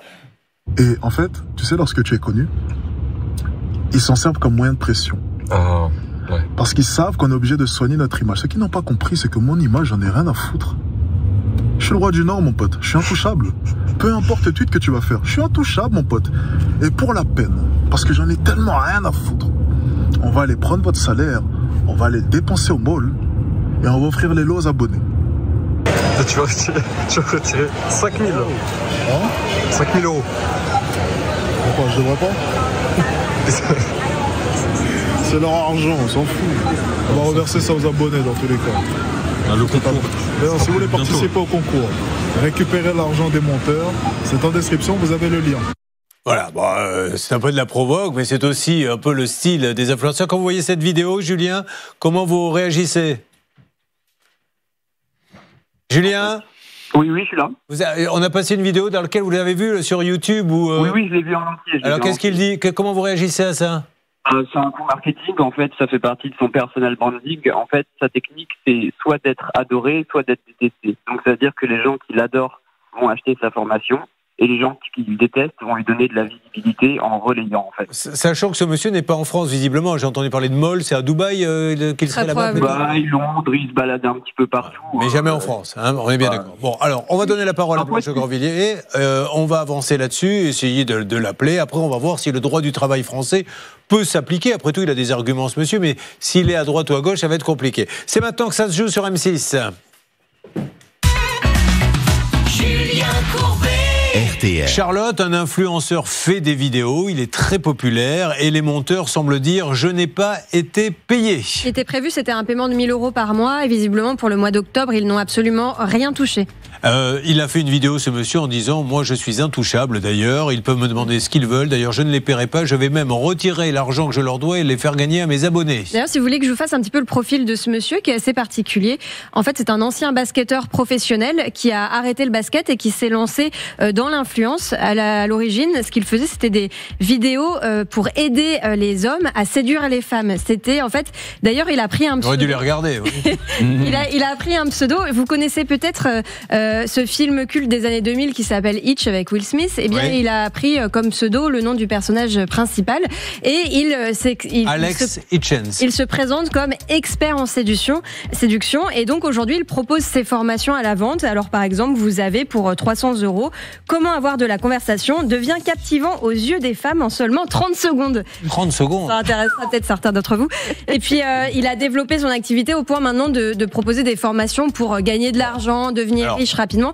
Petit warning quand même sur ce genre de formation euh, qui vous euh, promettent monts et merveilles pour euh, 3 400 euros, ça paraît quand même très peu crédible. Ça, après, chacun est libre de, de- de- de savoir s'il veut acheter ou pas. On n'est pas là pour juger ça. Juste euh, sur YouTube, il y a une, une vidéo que nos, nos amis de Ça peut vous arriver peuvent voir. Comment s'appelle euh, cette vidéo, s'il vous plaît, Stan? Cette vidéo, vous tapez soit Alex Hitchens sur YouTube, euh, son, son, son pseudo c'est The French Hitch et vous la retrouvez. C'est la dernière vidéo qui a été, euh, qui, qui a été postée. D'ailleurs, si on peut le dire, Julien, il se contredit quand même dans cette vidéo, hein, puisque dans un premier temps, il dit ne qu'il doit ne doit auc- aucun sou au monteur et dans un deuxième temps, il dit, vous savez quoi, puisque c'est comme ça, leur argent, on va aller le dépenser, je vais vous faire gagner des cadeaux. Il s'adresse à ses abonnés. Mais pourquoi le dépenser si de toute façon, il ne leur doit Ah oui, rien? pourquoi? Alors nous allons le demander maintenant à Blanche de Grandvilliers. Euh, première chose, si ce monsieur, et c'est son droit le plus absolu, est à Dubaï, Londres, etc., est-ce que euh, le- le- les prud'hommes français pourront faire quelque chose Enfin, le tribunal de commerce, puisque je suppose qu'il doit être en auto-entrepreneur, Julien. Alors justement, ça c'est la question. Est-ce qu'ils sont salariés ou est-ce qu'ils Ah, sont en, auto-entrepreneur? Gigi, vous êtes en auto-entrepreneur ou salarié Auto-entrepreneur. Auto-entrepreneur. Voilà. Donc, euh, ce qui veut dire qu'effectivement, c'est pas le droit du travail euh, qui s'applique. Simplement, là, on a quand même des éléments qui montrent qu'il n'y a aucun document contractuel. Donc, euh, c'est vrai que c'est bien dans ces cas-là, si ce monsieur dit ah bah c'est pas le droit français qui s'applique, eh bien c'est bien que c'est lui quand même qui requiert les services de Julien. Donc, c'est à lui de prévenir et de dire bah voilà, c'est tel droit qui va s'appliquer, etc. Tout ça n'a pas n'a pas été fait. Et puis effectivement, euh, il reconnaît que les sommes n'ont pas été payées et même s'il a diminué le montant, puisqu'il nous explique qu'il a diminué le montant de, la rémunération, il doit obtenir l'accord de Julien avant de recueillir ses prestations, alors que là on a l'impression que ça s'est fait après. Alors on va réécouter la vidéo. Nous, on veut juste que ce monsieur nous explique. Voilà, nous ils ont travaillé, ils n'ont pas travaillé. Je leur dois l'argent, je leur dois pas l'argent, mais qu'on ait une conversation euh, équitable. Là, il a Julien donné sa version des faits. Réécoutons quelques extraits, si vous le voulez bien, de ce qu'il dit dans sa vidéo à propos de ce problème. Écoutez bien. Et en fait, tu sais, lorsque tu es connu, ils s'en servent comme moyen de pression. Ah, ouais. Parce qu'ils savent qu'on est obligé de soigner notre image. Ce qu'ils n'ont pas compris, c'est que mon image, j'en ai rien à foutre. Je suis le roi du Nord, mon pote. Je suis intouchable. Peu importe le tweet que tu vas faire, je suis intouchable, mon pote. Et pour la peine, parce que j'en ai tellement rien à foutre, on va aller prendre votre salaire, on va aller le dépenser au mall, et on va offrir les lots aux abonnés. Voilà, euh, c'est ce qu'il dit ce monsieur, c'est sa version dans une vidéo. On essaie de le joindre. Ça donne quoi d'ailleurs les appels Céline? Ça ne répond pas, malheureusement. On est sur euh, sa messagerie directement. Il a également un manager qui ne répond pas. Une messagerie en anglais, peut-être qu'ils sont à l'étranger. J'ai quand même mis un petit message sur les réseaux sociaux puisque ce monsieur semble assez actif sur Instagram. On demande vraiment à Alexis Chen, ce monsieur Mayembo, de bien vouloir nous, nous contacter, de nous donner sa version des faits. On lui laissera bien sûr, euh, évidemment, le, le- le temps de, de- de s'expliquer. À qui doit-on euh, d'ailleurs cette, cette information? Vous ne le savez pas, Charlotte Si, je le sais, euh, on la doit à Twitter en fait. Effectivement, voilà. Euh, les monteurs ont fait un, un, un post sur Twitter pour expliquer leur situation et euh, Laura Ugrissel, notre journaliste, l'a repéré. Ah, cette Laura, elle a l'œil. Euh, Dites-moi, Julien, vous comptez aller plus loin, vous, et peut-être euh, essayer de saisir la justice ou pas du tout? Non, parce que je suis pas dans une situation où vraiment euh, j'ai besoin des 400 euros qui manquent. J'ai plein d'autres clients, j'ai beaucoup de travail, donc pour moi c'est ok. Mais c'est vraiment pour faire de la prévention et que les nouveaux monteurs fassent attention à ce genre de personnage. qui n'est pas le seul. Hein. C'est pas le seul des formateurs à Dubaï à arnaquer les monteurs. Et là, à Dubaï, ils y vont tous là-bas. hein. Oui, bah oui. C'est. Je ne travaille pas avec les gens à Dubaï. Bien. Ça marche, merci beaucoup Julien, on avance. Oui Charlotte Une petite info, l'entreprise de ce Alex Hitchens, euh, de son vrai nom Isaac Mayembo, s'appelle AH Corp. C'est ce qui est indiqué sur son site internet, mais il n'y a aucun numéro d'immatriculation. Visiblement, il prétend que son entreprise est immatriculée à Dubaï. Je ne trouve pas de traces de ça pour l'instant. Il y a une entreprise individuelle à son nom dans le 19e arrondissement, mais voilà, encore quelque chose d'assez euh, flou. Euh, on, on trouve difficilement euh, où est enregistrée la société véritablement. Le ministre Le Maire essaie de faire apparemment le ménage, mais c'est pour ça qu'ils partent tous souvent à Dubaï, parce que Mm. là-bas, ils sont intouchables. Oui, et c'est surtout que fiscalement, c'est beaucoup plus intéressant. Oui, oh, moi les impôts, je les paye, j'adore ça. hein. Ils ils écoutent nos amis des impôts, c'est les gens les plus formidables que je connaisse au monde. Vraiment, franchement, si, quand j'étais petit, moi j'étais, je rêvais de travailler aux impôts. Léa est avec nous, bonjour Léa. Bonjour. Bon, alors Léa euh, se caresse le ventre depuis tout à l'heure parce qu'apparemment, elle n'est pas seule. Il y a quelqu'un qui est planqué sous son ventre. Vous êtes enceinte de combien Six mois. Très bien. Bon, ça ne sera pas pour aujourd'hui alors. J'espère On pas. va essayer de ne pas vous faire de frayeur. Léa, votre histoire est juste dingue, puisque vous avez donné 7600 euros à une personne qui vous a vendu la prestation alors que la société était liquidée. Non mais c'est gravissime là, hein, ce qu'elle va nous dire. Donc on va en parler dans quelques instants. William est là. J'attends du nouveau pour Florent. Nous vous aidons et nous parlons de l'actu anti-arnaque dans Ça peut vous arriver. Ça peut vous arriver. Alors, on va faire maintenant un petit point sur les différents cas. Euh, notamment, vous voulez faire un petit round-up sur le cas de Florent, peut-être, Stan? Alors le cas de Florent, effectivement, ça avance euh, pas mal ici. Ah bah, en on y salle va. des appels Julien, on peut y aller. Du côté de Hervé avec Sodexo, puis de Bernard avec euh, Hopcoupe. Alors, euh, Hervé, Sodexo, que vous dit-on Il y a plein d'organismes qui lui doivent 5000 euros. Les tickets ont été perdus, ce qui peut arriver, mais euh, maintenant on ne le paie pas alors qu'ils ont bien été. Ils sont arrivés à bon port, les tickets restaurants. Hervé Pouchol. Je voulais féliciter Cédric du service client de Sodexo qui a été particulièrement efficace. Bravo monsieur. Il m'a confirmé qu'effectivement il avait retrouvé le dossier et que notre ami Florent va bien toucher très très très très rapidement la somme de 1028 euros concernant 111 titres. Pour l'instant, le dossier est euh, chez l'assureur. Il a demandé à son superviseur de faire accélérer les choses. J'attends peut-être la fin de l'émission, peut-être pour vous annoncer une très bonne nouvelle. Bravo Hervé. Donc merci à Sodexo. Donc première bonne nouvelle, eux, ça devrait arriver avant Noël sous le sapin. Euh, Céline, vous étiez avec qui, vous, s'il vous plaît? Il n'y a pas le bouton, ma petite Céline. Allez-y. Avec Eden Red et on attendait Alors je tiens à 120 dire, euros. Céline, euh, pour le bouton, c'est pas votre faute. hein. Je viens de voir le technicien réalisateur euh, appuyé en catastrophe. Et surtout, c'est terrible, mettre la main derrière le dos après. Parce qu'il s'est fait prendre la main dans le sac. Céline parlait, il s'est aperçu qu'il avait oublié d'appuyer sur le bouton. Et, et- et je l'ai vu, moi, dans mon écran, il a fait comme ça. Il a entendu qu'elle parlait et que ça ne passait pas, il a fait ça. Et il a mis la main derrière pour se dire, non, c'est pas moi. Mais quel filou, allez-y, Céline. Donc on attendait de la part d'Eden Red 902 euros concernant 120 titres restaurants. Pour l'instant, eh bien, ils sont en train de regarder le dossier. On attend une confirmation pour ce versement dans les prochaines minutes, je l'espère. Bon, et vous, Bernard, comment ça va? Allez hop Ah euh, J'ai une bonne nouvelle, Julien. Moi, je remercie Angélique, un petit ange dans cette maison de Up Coupe, puisque donc elle m'a confirmé qu'elle allait rembourser immédiatement 2523 euros sans prendre les frais de traitement habituels. Eh, ça passe euh, plutôt bien. Vous allez voir que si on continue à leur donner la parole, vous allez repartir avec 40 000 euros. euh. parce qu'à chaque fois que je leur donne la parole, ils annoncent un truc supplémentaire parce qu'ils se tirent la bourre, en fait, les trois. Donc Hervé Pouchol dit on va vous rembourser 1000 euros. Céline fait un peu la gueule. Elle se dit non, c'est lui qui va avoir la vedette. Eh bien, moi, j'ai 2000 euros. Et vous, Bernard, mais moi, j'ai 5000. Bon, normalement, il repart avec la totale, hein, on est bien d'accord. On est bien d'accord, il reste juste Bimpli que Hervé va appeler. Ah, euh, Hervé, il y a encore un quatrième euh, organisme? Oui, oui, c'est-à-dire que comme on est trois, euh, il y en a un quatrième, et comme euh, j'ai commencé, eh bien, je vais appeler Bimpli. Ça, il faut jamais être le premier à appeler parce que sinon, Eh oui, jamais. si vous n'êtes pas assez nombreux, ça revient au premier après. Eh ben voilà. Exactement. Combien de fois je vous l'ai dit, ça oui, vous êtes bon. Très bien, on va avancer. On aura Cécile qui est avec nous. Est-ce qu'on peut voir par contre, s'il vous plaît, Stan, et sans vouloir vous commander bien sûr, quelques images de la maison de William qui est avec nous parce qu'il a des gros soucis, il va falloir l'aider. On peut voir ça, Stan? Bien sûr, on peut voir, euh, on peut voir quelques images de la maison. En fait, vous allez vite comprendre ce qui pose problème. C'est surtout au niveau du sous-sol, Julien, où il y a des infiltrations. C'est pas compliqué. Quand nous y avons été il y a quelques jours, il y avait une grosse flaque dedans. Vous voyez le, le- le long du mur gauche. On peut vous mettre une photo un peu plus proche si vous ne la voyez pas bien. Alors, Mais je donc, vois, c'est ça. je, je vois la photo, Ah mais oui. je vois surtout le roi du rangement. Regardez-moi, normalement, on est bien d'accord qu'un garage, c'est le bazar absolu, il y en a partout. Regardez-moi ça, comme les colonnes sont bien faites, comme tout est bien organisé. Vous êtes un peu maniaque? Non. Non? Bah, c'est super bien rangé, bravo. Quoi d'autre, Stan? C'est essentiellement ça, Julien. En fait, le problème vient d'une, euh, d'une, d'une, euh, du drainage qui est trop obstrué. C'est ce que nous dit l'expertise. Donc, en fait, à l'intérieur euh, du, je sais pas, du tuyau, il y a euh, plein de, plein de morceaux. Je ne sais, je ne saurais pas trop vous dire exactement. Là, là mais c'est très des- approximatif ce que vous nous dites. Ne dites rien si vous ne savez pas. alors Personne ne Non, mais regardez la photo. Julien, elle parle Oh, d'elle-même. Vous voyez bien c'est- que le tuyau n'est pas libéré et donc évidemment tout ça euh, entraîne euh, des Qu'est-ce que ça infiltrations. peut être, euh, William.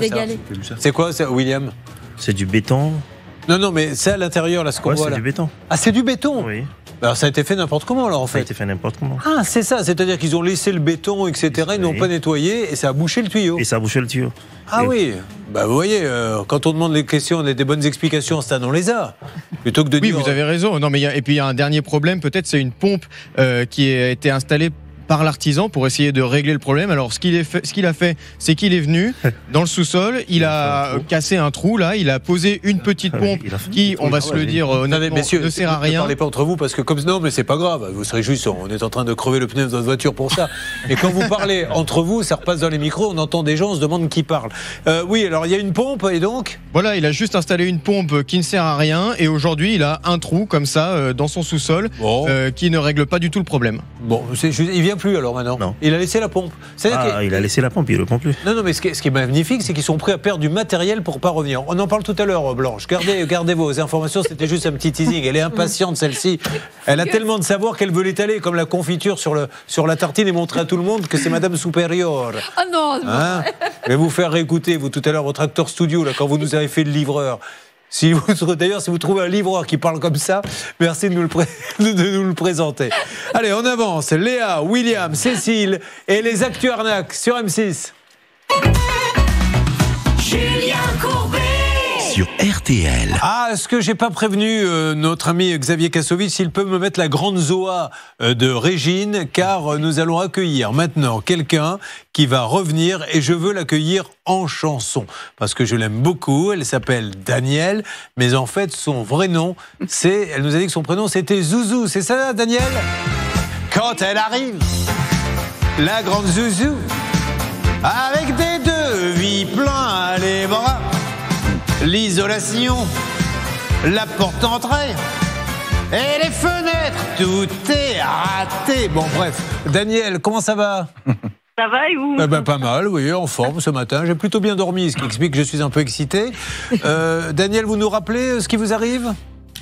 Euh, ben, en fait, j'avais fait faire euh, une isolation et après, on je devais faire euh, mes fenêtres et j'ai versé un chèque de 4200 euros. Et à ce jour, j'ai, j'avais toujours pas de fenêtre. Alors, attention, j'ai hein. voulu le remboursement. Mais bien sûr, et nous avions lancé, je ne sais pas si on peut le réécouter, vous me le confirmez, nous avions fait un petit appel parce que ce monsieur ne venait plus, elle avait payé, on avait lancé un petit appel pour voir s'il continue à prendre des chantiers. Effectivement, et d'ailleurs, il était dispo pour un devis euh, dans les 48 heures. Alors, on peut le réécouter parce qu'on m'annonce à l'instant qu'en allant fouiller un peu dans la poubelle, on vient de retrouver euh, ce son, alors allons-y. Pour euh, des, des Velux, vous seriez disponible pour faire un devis Euh, mercredi en début d'après-midi, ça vous dirait Je si je vous dis 14h. Ouais, sous quel délai est-ce que je peux espérer avoir ma pause de Velux? Novembre, novembre, c'est- potentiellement possible. Moi, c'est la petite Collonge qui avait fait ce, ce micro caché, j'ai reconnu sa voix, pas mal. Ah bah oui, bah elle est partout la petite Collonge, J'ai l'impression qu'elle Ah, prend de l'ampleur dans l'émission, c'est bien ça. Que s'est-il passé depuis votre passage? Qui c'était? Quel négociateur s'était occupé de ça? C'est vous, Bernard. Euh, Il y a du nouveau, Daniel ou Zouzou? Oui, ça y est, j'ai récupéré mon chèque et euh, le chèque est bien encaissé. Bon, ben alors vous êtes contente Ah super, oui, je vais pouvoir refaire euh, un autre professionnel. vous voulez vous refaire un autre professionnel cal- Calmons-nous, écoutez. voilà, l'émission prend une toute autre tournure. Je pensais que c'était juste pour qu'il fasse des travaux. Maintenant, si c'est l'amour que vous cherchez, Zouzou, c'est autre Non, non. chose. Ah bon Bon, bravo Bernard. Bah, merci euh, pour votre petit Bernardo, mais c'est donc on doit remercier Eld Isolation Ah oui. et le fameux commercial Jérémy qui avait tenu son engagement en disant la chose suivante je parle avec la gérante Caroline SR, elle fait le chèque et ils l'ont fait. Bravo. Ben, je dis bravo et on est content d'annoncer des bonnes nouvelles. Bon, ben ma Zouzou, ça y est, tout va bien. Allez, elle s'en va. La grande Zouzou, avec des chèques plein les bras. Elle cherche l'amour. La grande Zouzou, elle veut un artisan. Vous ne cherchez pas l'amour, Zouzou Non, non, Vous savez ce qu'il faut à la maison oui. Très bien, Ben, vous avez raison. Ceci étant dit, vous savez que ce n'est pas parce qu'on est au régime qu'on ne peut pas regarder la carte. Daniel, je vous souhaite une bonne journée. Eh ben, je vous remercie. Je remercie toute l'équipe de ce que vous avez fait. Euh, sans vous, je crois que j'aurais jamais récupéré mon argent. Euh, merci pour tout. en Et fait. bravo à l'isolation, bravo. à- Gros bisous, ma Zouzou, à très très bientôt. Merci, merci beaucoup. Et joyeux. Noël, d'ores et déjà. Ah oui, Merci, vous aussi. Au revoir. Il y aura Léa, il y aura William, il y aura Cécile, il y aura également deux arnaques dans l'actualité. Nous sommes l'émission anti-arnaque avec euh, cette euh, dame qui a piqué euh, 54 000 euros au club de basket du coin pour essayer de rembourser une arnaque dont elle avait été elle-même victime. Et puis nous aurons euh, pas mal d'autres choses. Alors, est-ce que l'on peut euh, avoir une nouvelle peut-être d'un dossier qui était bloqué, Stan? Et on peut surtout avoir euh, du nouveau du côté d'Hervé Pouchol sur le cas de l'influenceur. Il m'indique qu'il a du nouveau sur ce dossier. Rappelons-le, cet influenceur Alex Hitchens qui ne paierait pas ses monteurs Alors, vidéo. Ça, c'est la version des monteurs vidéo. On essaie juste de la voir pour qu'ils nous disent sûr. ce qu'il en est. hein. Encore une fois, euh, qu'est-ce qui se passe, Hervé Pouchol? Attendez, parce que moi je suis sur Bimpli, les tickets restaurants, l'influenceur. Attendez, il faut que je Est-ce que vous connaissez beaucoup de médias À chaque fois, je pose la Oui. question où à l'antenne on dit ce genre de choses. Est-ce Ah, que vous avez déjà vu Gilles Boulot au journal de TF1 dire euh, Mon cher François Langlais, vous allez nous parler de l'économie en Chine, mais également nous parler de. Oh, bah, ça va, alors je fais la Chine, le truc. Moi, je vais pas passer non plus.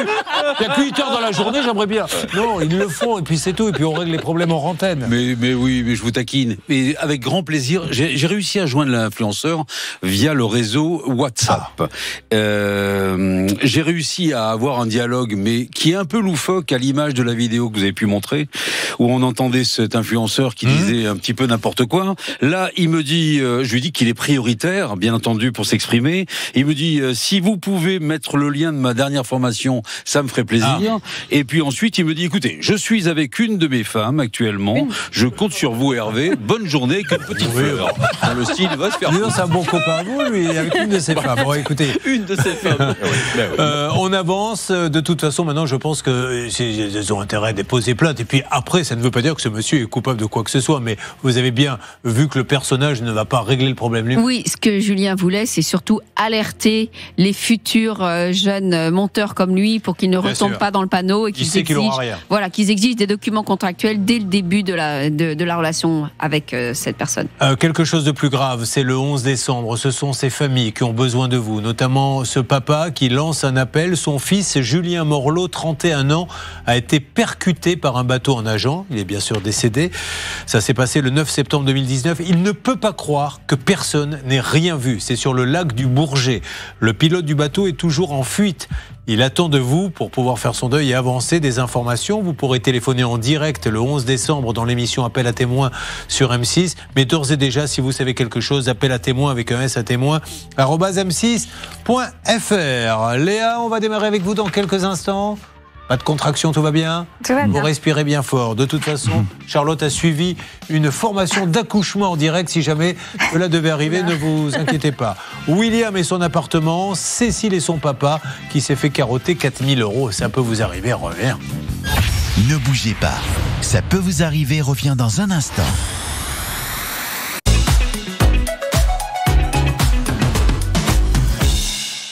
Merci d'être avec nous, mesdames et messieurs, et de passer cette euh, matinée avec ceux qui ont besoin d'aide, Léa, William, Cécile, qui sont à mes côtés. Et nous parlerons également euh, d'actualité arnaque et nous décrypterons ça tous ensemble. Blanche de Grandvilliers est là. Blanche de Grandvilliers, pour ceux qui ne le savent pas, qui suit actuellement une formation d'actrice. Et tout à l'heure, alors qu'elle expliquait un cas, mais qu'elle était en train de nous dire qu'en fait, le magasinier, quand il livre un colis, n'a pas toujours le temps que vous l'ouvriez devant lui. Elle a voulu faire le magasinier et voilà ce que ça a donné. Ah, moi je suis pas là pour ça. Voilà, c'est plutôt pas mal, vous le tenez pas mal. Et on commence à les Pouchol à avoir quelques coups de fil de réalisateurs qui pourraient être intéressés. Oui, il y a plusieurs propositions. Je ne vous donnerai pas le nom des réalisateurs ni le nom des films, mais il y a des propositions. Léa est avec nous, Léa est toute jeune, Léa est chef de projet dans l'industrie pharmaceutique. Elle a déjà un petit garçon de 5 ans qui s'appelle Adam. Adam et euh, il y a un nouveau bébé euh, qui va arriver euh, très prochainement. Exactement. Et elle voudrait euh, que tout soit nickel pour l'arrivée du bébé parce qu'elle a des petits soucis. Vous allez voir une histoire de dingo. hein. Ça, je, je compte sur vous, Charlotte, pour nous donner tous les détails parce que là, au niveau pénal, on n'est pas bien, Blanche Oui. de Grandvilliers. Euh, on est du côté de Andilly, en Charente-Maritime. Que se passe-t-il là-bas, s'il vous plaît, Céline? Nous sommes non loin de La Rochelle et si par exemple à Paris on augmente le prix des tickets de métro, eh bien sachez qu'à La Rochelle, pour les quatre samedis du mois de décembre, les transports en commun seront gratuits, ce qui facilite les achats de dernière minute pour les cadeaux de Noël ou alors pour aller voir le marché de Noël et les illuminations de la ville de La Rochelle. Bah, Vous finissez beaucoup plus tôt que d'habitude. Je suis Bah obligé oui, de bah, siffler. Bah, j'ai eu des reproches, alors maintenant on fait court et efficace. Oui. Vous devriez faire ça aussi, Julien. Merci. Bon, alors ça c'est la première chose. On va raconter l'histoire de Léa. Il y aura une arnaque décryptée tout à l'heure, une arnaque dans l'actu avec cette dame qui a piqué au club de basket 54 000 euros. Elle-même s'étant fait avoir et il fallait qu'elle rembourse. Léa, racontez-nous s'il vous plaît en quelques secondes. Mettez-lui, elle est enceinte. Elle a le droit à un petit, un petit bonus. Euh, tout à l'heure, euh, vous aviez Florent à qui on avait donné 40 secondes pour résumer son histoire, ce qu'il n'a pas été capable de faire. Et je vous ai aidé quand même, Florent. Vous m'avez pas dit merci. Si, si. Ah bon, très bien. Et Léa, une petite minute, les tenants, les aboutissants, parce que l'histoire, elle est folle. Allez-y. Ah bah, on décide avec mon mari, euh, du coup, euh, fin d'année dernière, de construire un dossier pour euh, emprunter et agrandir notre maison. Et euh, du coup, on a contacté euh, différents artisans, dont euh, ce fameux artisan.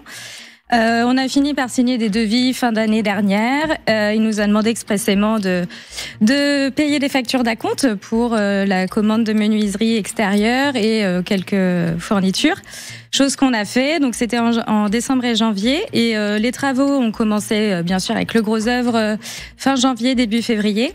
Et on va dire que c'était prêt au mois de juin pour la euh, des menuiseries. Et depuis, s'en est suivi plusieurs excuses pour euh, ne pas euh, intervenir. Et euh, on va dire que fin du mois d'octobre, on en a eu plus qu'assez. Alors, première partie du dossier, vient plus.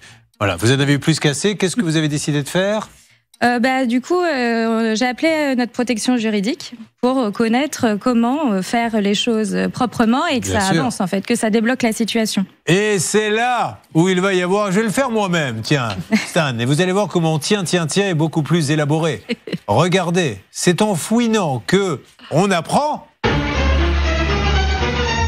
Tiens, tiens, tiens Très bizarre cette entreprise. Vous voyez, il faut se pencher un peu en avant, comme je viens de le faire, Stan, pour donner du volume à la chose. Qu'est-ce qu'on a appris, euh, Charlotte? L'entreprise est en liquidation judiciaire. Mais alors, elle l'était au moment où elle a signé. Oui. Donc ça, alors ça, Blanche de Grandvilliers, je suppose que c'est c'est presque le premier cours qu'on apprend euh, à la fac de droit, c'est-à-dire qu'on ne peut pas vendre des prestations si on est en liquidation judiciaire. Oui, et d'ailleurs, s'il avait été voir le mandataire liquidateur, il lui aurait tout de suite expliqué, qui d'ailleurs a précisé qu'il n'avait pas autorisé de poursuite d'activité. D'ailleurs, c'est même pas une poursuite d'activité, puisque là, c'est une nouvelle activité, puisqu'il a pris ce chantier euh, plus d'un an après euh, la fermeture de l'entreprise. D'où mon deuxième tiens tiens tiens. Donc Stan, je crois vous avoir montré la voie. J'espère avoir un tiens tiens tiens euh, digne de ces deux chaînes qui nous accueillent RTL et M6. Qu'est-ce que l'on peut se poser comme question, Stan? Et donc, je regarde le dossier et je me demande. Tiens, tiens, tiens, mais qui a encaissé l'argent Bah oui, puisque s'il est bien joué, bon, est s'il bon, est euh, en liquidation judiciaire et donc normalement les comptes, bah, il y en a plus où ils sont bloqués ou en mandataire. l'État. euh, sur quel compte l'argent a été encaissé? Bah, nous, on a fait le virement sur euh, Le compte de la société Le compte de la société, en tout cas, c'est ce qui était écrit avec l'intitulé de la société. Oui, sauf que c'est une entreprise personnelle, donc euh, de toute façon, c'est une, c'est une euh, entreprise individuelle à responsabilité limitée qui a le même nom Eh oui. que, son entreprise, que son nom à lui. C'est un tiens, tiens, tiens que va nous faire Charlotte. Je suis désolé, c'est une spéciale tiens, tiens, tiens, parce que Charlotte a fouiné et vous allez voir le subterfuge parce qu'on est en droit de se dire, bon, il est en liquidation, il prend quand même des contrats. Ça, déjà, c'est 0 sur 20. Mais comment fait-il pour encaisser l'argent avec ce virement puisque la société est soi-disant fermée Et là, Charlotte, il faut le faire, le tiens, tiens, tiens. Ah, c'est à moi de le faire Ah oui, Oula, attention. Tiens, tiens, tiens. Il faut dire quelque chose derrière, quand oui, même, mais, sinon, mais, ça- mais moi, je suis débutante, il faut me laisser ma. Si vous dites que tiens, tiens, tiens, les gens restent un peu sur leur faim. Je ne maîtrise pas aussi bien l'exercice que vous et Stan. Euh, on a l'illustration parfaite, Julien, euh, du cas où on a quelqu'un euh, qui a liquidé sa société, qui a eu des problèmes de gestion financière, qui n'a plus l'autorisation de poursuivre et qui fait complètement fi de cette information, qui utilise l'entreprise de quelqu'un d'autre pour facturer, Voilà. pour encaisser les fonds. Une personne donc qui a créé euh, son entreprise, qui est à son nom, et lorsqu'on cherche le nom de cette personne sur Internet, on trouve une dame qui se présente comme secrétaire, alors qu'elle est gérante. En fait, l'entreprise est même à son nom, c'est une entreprise individuelle. Eh bien, euh, on pourrait faire une grande parade dans les rues. Mesdames et messieurs, venez tous assister à ce grand déballage maintenant avec nos artistes venus du quatre coins du monde et notamment notre artisan qui, je le rappelle, prend des contrats alors que sa boîte a été liquidée et fait les virements sur le compte d'une secrétaire qui ne sait pas qu'elle est gérante d'une deuxième société. Qui ne sait pas ou qui sait. Ça, on verra. euh, Je pense qu'elle sait, elle Merci peut pas d'avoir- ignorer euh, que l'entreprise a été créée à son nom. C'est impossible. Elle a signé des papiers. Bon, euh, avançons là-dessus. Euh, Aujourd'hui. Non, mais dites donc Ah bah, pardon. Oula. Non mais non mais pardon mais ça- ça, alors vous allez le faire faire à toute l'équipe là le tiens tiens tiens ou quoi? C'est quoi cette histoire? Vous avez prévu de me remplacer? Non mais dites-le Non, moi bah, ne vous fâchez pas, non non ça. mais c'est bon parce que je, je le vois Non, venir non. je le vois Alors, venir on va appeler dans quelques instants, Stade, et on va surtout prendre un petit cachet pour se, se calmer. Vous m'avez fait peur, vous savez. Donc, déjà, la pauvre, elle est enceinte de, de, de 8 mois, donc elle peut accoucher à n'importe quel moment. Euh, Moi-même, attention, au niveau cardiaque, je tiens à faire attention, donc on va se calmer. On s'occupe de ce cas et on enchaînera sur William et son garage inondé, mais surtout aussi sur Cécile. Histoire de dingue. Un chèque est envoyé par erreur à quelqu'un qui l'a encaissé, lui pas par erreur, et qui veut pas le rendre maintenant, et nous l'appellerons. C'est ça, ça peut vous arriver. Vous suivez, ça peut vous arriver. On regarde les photos, Léa. Vous voyez, des- parfois une bonne photo, comme on est sur M6, vaut mieux qu'un grand discours. C'est parti. Stan, voilà l'histoire aujourd'hui où elle en est. Et il a abandonné. Non, mais vous riez, mais ça, ça doit, ça doit être nerveux, quoi. Oui, oui, c'est ça. Parce que c'est une catastrophe, ça. Passer devant ça tous les jours. Et vous avez payé combien pour ça? Bah, on a payé pour euh, ce qui est en absent. tout, en tout, oui. Euh, 7600 euros. Voilà. Et il laisse tout en plan. Et alors lui, c'est c'est comme vous, euh, d'ailleurs. Il laisse son matériel, vous, il a laissé une pompe chez vous, il laisse sa bétonneuse, il laisse tout. Mais, mais qu'est-ce qui passe par la tête de ces gens de ne pas. De, de se dire, ben voilà, je reviens plus, tant pis pour eux, quoi.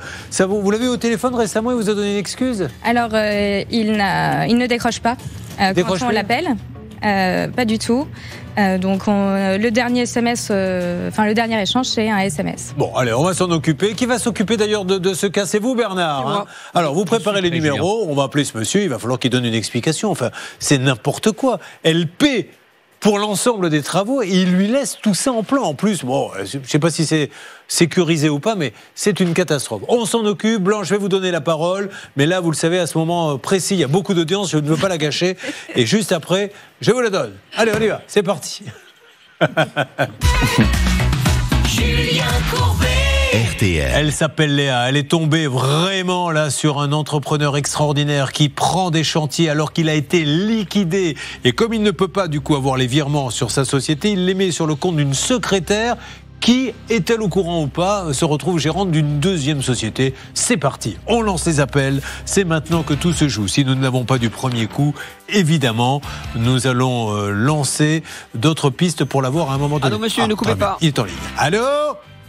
Allô, allô Florian Florian Florian Oui. Oui, bonjour Florian. Florian, vous allez être un petit peu surpris. Je vous demande de ne pas raccrocher, s'il vous plaît. C'est Julien Courbet. Euh, L'émission, ça peut vous arriver RTL M6. Florian, je suis avec Léa qui est enceinte, euh, qui est à mes côtés et qui est un petit peu embêtée. Et elle vous dit pourquoi elle est avec nous. Léa. Bonjour Florian, c'est Léa Benoît au cas où tu n'aurais pas euh, réalisé. Ben, du coup, je suis un petit peu perturbée, mais... euh, Je, je, je vous entends pas du tout. Alors, euh, Léa est en train de vous dire que c'est un peu la cata chez elle puisque vous n'avez pas fini les travaux, monsieur. Oui.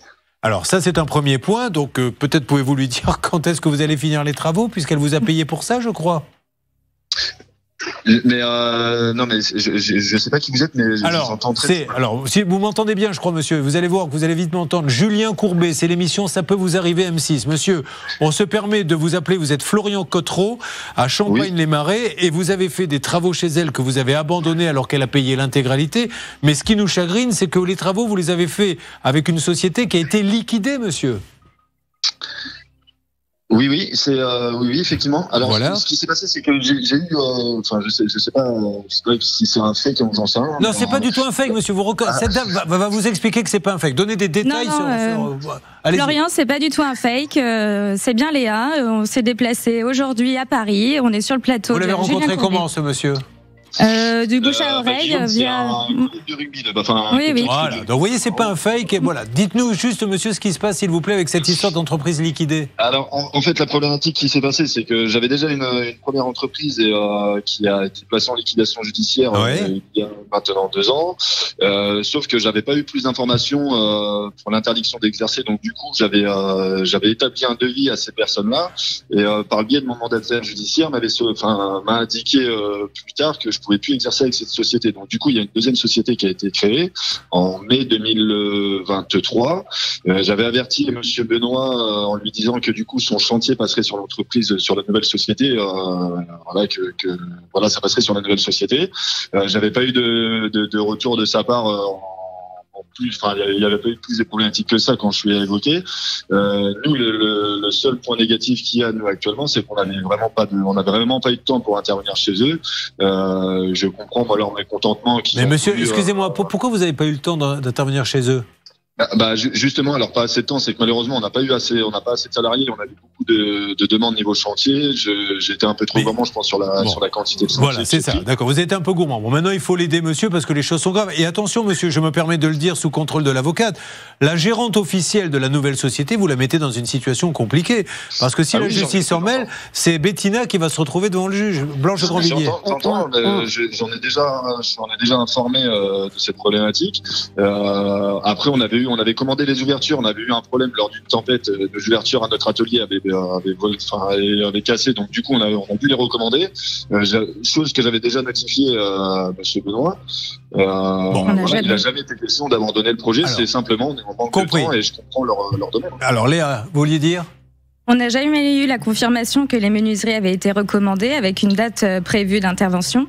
Et nous, ce qui nous, euh, ce qui nous interpelle surtout, c'est que les fonds ont été encaissés sur la première entreprise. Oui. Et euh, même si oralement, peut-être, et j'en ai aucune mémoire, euh, les, les travaux allaient être transférés avec cette nouvelle entreprise, Si- on n'a jamais rien signé. On n'a jamais rien signé Mais au nom de la nouvelle entreprise. Le virement, il a été fait, euh, qu'elle a fait, le, le paiement? il- Il avait été fait sur le compte de FC Pro. Oui. Et alors, donc, euh, cet argent, il est devenu quoi? Eh ben, alors justement, j'ai le mandataire qui avait qui a demandé une, euh, à bloquer les à bloquer ce compte justement par rapport à, enfin ma banque a bloqué ce compte par rapport à la liquidation judiciaire parce que cette, ma banque justement n'était pas informée de la liquidation donc ils ont ils ont bloqué les comptes. Bon, ok, Parce on va l'appeler. C'est Monsieur Collet, hein, le mandataire judiciaire. On va voir. Charlotte. Oui, Ça, oui. me surprend ce que vous dites parce que vous avez été liquidé le 15 décembre 2021 et vous dites qu'un an plus tard vous avez toujours le compte euh, ouvert et vous Ouais, avez ben, j'ai toujours le compte et, et c'est ce que donc moi j'ai rendez-vous avec mon mandataire le 30 là le 30 novembre à 10h parce qu'en fait la problématique qui se pose c'est que lorsque je demande mon excès de cabis ou euh, l'immatriculation en fait je l'ai toujours et l'entreprise paraît toujours active. Alors, on, on va Ah voir de ce côté-là. euh, Maintenant, monsieur, je vous pose la question, s'il vous plaît. Euh, quand est-ce, qu'est-ce que vous voulez, madame? Nous, on veut le remboursement des fonds, on- De ce qu'il n'a pas fait bah, des, des acomptes qu'on a versés et qui ne Euh, sont en pas fait, On a rien réalisés. fait, on a juste commencé le raillage. Ils ont rien fait. Bon, alors, monsieur, est-ce que vous pouvez la rembourser même avec un échéancier Eh ben, de, de toute manière, si euh, si on peut pas réaliser les enfin, s'ils souhaitent pas qu'on réalise. Bah, les travaux, C'est-à-dire c'est- que maintenant, elle en peut plus. Voilà, Non, mais- le, le temps est passé, donc elle voudrait le remboursement avec un échéancier. Ce qui éviterait d'ailleurs de, de partir sur un procès qui pourrait euh, sentir rembourser, mauvais. il y a pas- Oui, tout à fait, parce que la première chose qu'on a lorsqu'on est en liquidation judiciaire, c'est prendre rendez-vous avec le mandataire liquidateur qui vous informe que vous n'avez pas le droit d'exercer, qui vous donne tous les éléments. Or, le fait de ne pas prendre contact avec ce mandataire liquidateur, ce qui est confirmé, hein, il nous a dit qu'il n'avait pas eu jusqu'à présent de contact avec vous, ça fait partie des sanctions, interdiction de gérer, voire faillite personnelle. Bon, on récupère l'appel, monsieur. Il faut trouver un accord. Elle est prête à accepter un échéancier si vous n'avez pas la trésorerie. Mais il faut qu'il se passe quelque chose. Donc, je compte sur vous, Bernard, pour cette négociation. Oui. Donc, c'était ex-FC Pro Menuiserie euh, Florian Cotreau. Et il y a une nouvelle société. Plaque au bois, c'est ça?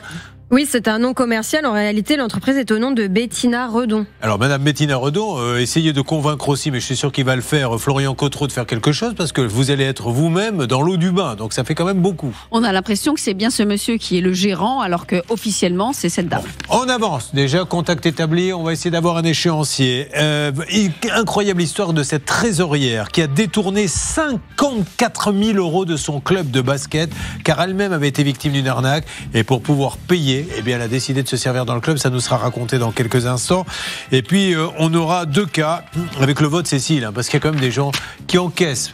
Par erreur, bah, c'était pas pour moi. Bah, je savais pas que c'était pas pour moi. Bah, rendez-les. Bah, euh, à vrai dire, non. Voilà où nous en sommes. Et ça se passe bien sûr dans Ça peut vous arriver. Merci. Ça peut vous arriver, partenaire de votre vie quotidienne.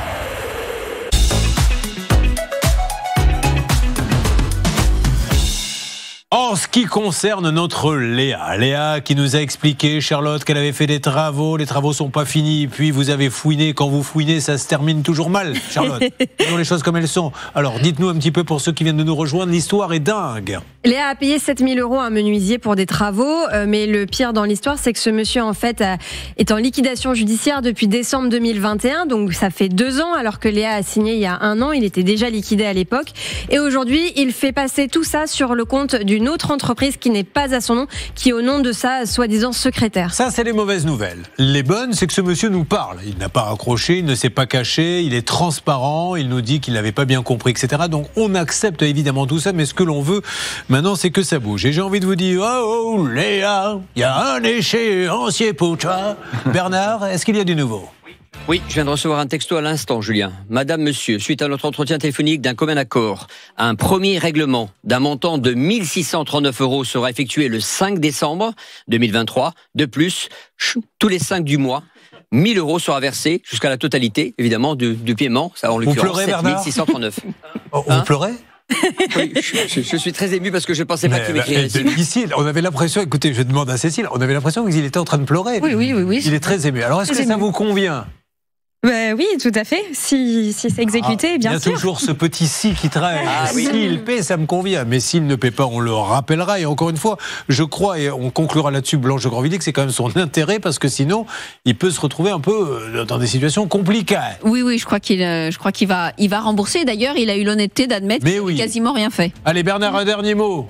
Oui, il me dit la chose suivante, qu'elle me transmette un RIB à l'adresse suivante, plaque, point, Ah non, mais c'est bon, on va pas donner l'adresse sur l'antenne, Voilà, d'accord. oui, c'était la deuxième Oui, oui, société. Très bien, très bien. En tout cas, elle avance et vous me tenez au courant. Ok, Léa Oui. Ah bah voilà, le Père Noël est passé, le Père Noël des artisans, le Père Noël des mandataires liquidateurs, le Père Noël qui finit pas les travaux a décidé que Léa aurait son remboursement. Léa, bravo, on est ravis pour vous.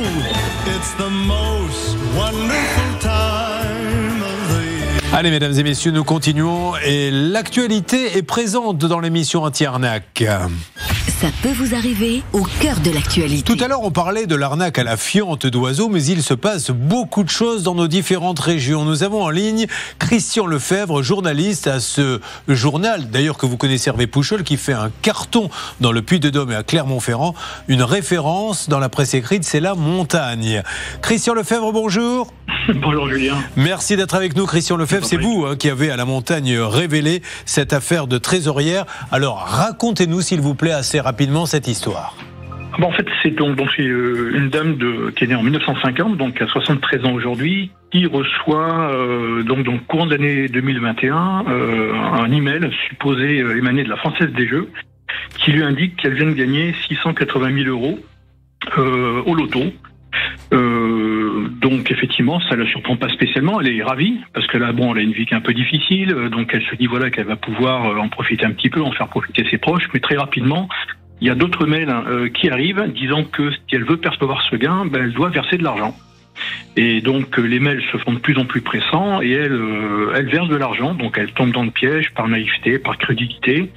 Et donc à tel point que ben, elle vide tes comptes, elle est obligée de contracter des crédits à la consommation, elle emprunte de l'argent auprès de ses proches, mais ça suffit toujours pas. Et là, ben, elle prend la, la plus mauvaise des décisions, puisqu'elle est, elle est trésorière d'un- du petit club de basket de sa commune. Euh, bon, on lui fait toute confiance, hein, c'est vraiment une dame au-dessus de tout soupçon, et elle décide en fait de, ben, de siphonner euh, les caisses du club euh, pour continuer euh, justement à verser de l'argent avec l'espoir évidemment d'obtenir ses. Et comment fait-elle, s'il vous plaît? Mais en fait, euh, elle a en fait vu qu'elle est trésorière, donc elle a accès aux cartes bleues, aux chéquiers. Ah. Et à l'époque, effectivement, bon, euh, elle, elle- elle fonctionne, enfin, quasiment en électron libre. Elle fournit de faux relevés de compte, donc elle fabrique de faux relevés de compte qui sont plutôt pas mal faits. Et donc, vu que tout le monde lui fait confiance dans le club, euh, bon, personne se penche vraiment sur les comptes de l'association. Et ça se passe comme ça jusqu'à ce qu'arrive une nouvelle équipe euh, dirigeante euh, qui découvre effectivement qu'il y a quelque chose qui ne va pas puisque les comptes du club sont vides. Alors, elle a été condamnée Blanche Grandvilliers. Cette dame, à quoi a-t-elle été condamnée? Alors, elle était condamnée donc à six mois de prison avec sursis et surtout à rembourser au club les 54 260 euros euh, qu'elle a ponctionnés dans les caisses. Alors, bien évidemment, elle peut faire appel si elle le souhaite, mais euh, grâce à, à votre information que vous avez donnée dans la montagne, on voudrait rappeler que elle-même est victime d'une arnaque. On vous dit vous avez gagné au loto, mais pour débloquer l'argent, il faut donner de l'argent. À partir du moment où vous gagnez de l'argent, en aucun cas il ne faut en donner. Sinon, vous n'avez qu'à dire à votre interlocuteur, mais tu sais quoi, l'argent que tu me demandes, déduis-le de celui que tu dois me donner. Comme ça, on en parlera. Faites très attention à ça. Oui, la peine est relativement euh, légère. Julien, cette dame, évidemment, avait un casier judiciaire vierge. Elle est quand même euh, âgée, on l'a dit euh, tout à l'heure. Et effectivement, c'est l'engagement de rembourser Ouais. la victime qui a fait que la peine a été, entre panique. guillemets, voilà, aussi, euh, au- aussi légère par rapport aux faits qui sont quand même très graves. hein. Merci Christian Lefebvre. Quelle est la une du journal La Montagne ce matin Alors, je la, je la connais pas encore. je la connais pas. Alors, je, je pense que c'est vraisemblablement le, le procès de, de Monique Olivier. Tout à fait. euh, qui est sous, puisque ça, ça, ça concerne en partie notre, notre zone de diffusion du groupe Centre-France. Merci beaucoup, la montagne, donc euh, là-bas à Clermont-Ferrand, de Merci Christian Lefebvre, merci beaucoup. Merci Julien, bonne journée. Bonne journée. Euh, soyez prudents, il y en a énormément. Combien de fois? Alors, ça s'est un peu calmé les arnaques à la loterie, mais ça revient petit à petit parce que c'est des modes. Bravo, vous êtes détenteur d'une somme de 40 000 euros ou alors d'un héritage. Vous ne le saviez pas, mais un oncle d'Amérique vous lègue 40 000 euros pour les toucher et pour les débloquer. Merci de nous envoyer 1000. Alors, vous donnez 1000 et quand ils voient qu'ils ont un bon pigeon, ça se transforme en 2000, en 3000. On ne paie jamais, surtout si c'est pour vous donner de l'argent. Nous allons euh, enchaîner, on a réglé en partie le problème de Léa. Euh, nous allons attaquer le cas de la Cécile qui est avec nous. Alors, ma Cécile, vous arrivez de la Voulte sur Rhône, dans l'Ardèche. Ardèche. Que se passe-t-il là-bas, Cécile? Céline? Alors attention parce qu'il se trouve que des pompiers suisses ont réussi à sauver un chien euh, qui était en très mauvaise posture. C'est un chien qui appartient euh, à une personne qui habite du côté de la Voulte-sur-Rhône, en Ardèche. Mais comme l'intervention s'est passée en Suisse, alors euh, les pompiers suisses ont réclamé 10 000 euros euh, au propriétaire du chien pour euh, donc euh, ce sauvetage. Et ce monsieur a dû faire une cagnotte pour récolter les fonds pour ainsi récupérer et son chien et donner les 10 000 euros aux pompiers suisses. Bon, alors, Cécile, vous êtes en recherche d'emploi. Vous étiez coiffeuse auparavant? Oui. Et maintenant, vous recherchez dans la coiffure? Cherche- Non, euh, dans la vente. D'accord. Vous voulez vendre quoi exactement? Peu importe? Peu importe. Bon, très bien. Et dans quelle région? Ben, Passez une annonce. Oui, dans l'Ardèche, Drôme, euh, tout ça. Voilà, l'annonce c'est dans l'Ardèche, Rome, tout ça. Et vous vous débrouillez avec Non mais, vendez-vous un peu. J'ai de l'expérience, je suis une très bonne l'expérience dans la vendeuse. vente et je recherche sur le département de l'Ardèche et de la Drôme. Eh ben, vous cherchez une bonne vendeuse, elle présente bien en tout cas, elle s'exprime bien, donc vous allez cartonner, vous n'allez plus savoir quoi faire des contrats qu'elle va vous ramener. Euh, N'hésitez pas à nous le dire sur ça peut vous arriver m6.fr, on lui transmettra.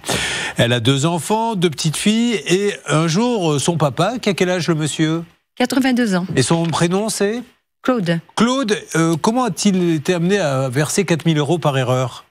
Euh, il a voulu faire donc un versement de son propre compte euh, à la banque sur son, la banque postale et en ligne. Et donc, il avait euh, en mémoire, en historique, le, le RIB donc, de Monsieur Campiche, qui était aussi à la banque postale. Et par erreur, il a cliqué, au lieu de faire sur son propre compte Ah oui. personnel, Parce que maintenant sur les applications, quand vous faites un virement, il reste en mémoire, donc vous avez le nom de tous ceux à qui vous avez fait un virement, et si vous vous trompez de ligne, et effectivement. dans la même banque postale où il voulait verser. Et il Euh, s'est trompé. Il l'a rappelé en lui disant faut rendre les sous. On est- On est en train d'essayer de l'appeler d'ailleurs, ce monsieur. Oui, donc euh, il lui a dit, donc il lui a fait un premier courrier en lui disant qu'il s'était trompé et qu'il voulait bien le rembourser. Et de là, euh, bah, fil en aiguille, papa a déposé plainte. euh, Il veut pas rembourser. Et il ne veut pas rembourser. Alors rappelons quand même, alerte, il est là apparemment. Céline, je vous écoute. Eric est en ligne avec nous, c'est celui qui doit cet argent. Bonjour Eric. Attendez, je comprends pas. Alors, Qu'est-ce qui se passe? Je m'explique, monsieur, écoutez-moi bien. C'est très important, mais il n'y a rien de grave. Je suis Julien Courbet. Au moment où je vous parle, monsieur, nous sommes en direct. Je dis bien en direct sur la radio RTL et en simultané sur la chaîne de télévision M6. Monsieur Campis, je vous appelle parce que je suis avec euh, Cécile, c'est la fille de monsieur Bernard Claude. de monsieur Bernard Claude, qui vous a envoyé 4000 euros par erreur et que vous ne voulez pas lui rendre. Vous voyez de quoi il s'agit, monsieur? Allô, allô? Il veut pas me parler, le monsieur? Il est toujours là? J'ai- Oui, oui, il est là, mais j'ai pas l'impression qu'il euh, il est pas très bavard. Ah bah, ce ça, monsieur. Il est pas j'entends bavard ça. en Il a une société, on a appelé où exactement, là? Sur son portable, en fait, sa société serait fermée, euh, mais il est bien en ligne, il nous écoute. euh, mais il Alors on essaie euh, de continuer à lui parler, ben, récupérer l'appel, ben, on a- il a compris qu'on était. Alors évidemment, euh, il n'a pas envie de discuter avec moi parce que j'ai peur qu'il n'y ait pas beaucoup euh, d'arguments à donner. On va voir quelques petits détails avec Charlotte dans quelques instants, c'est fou.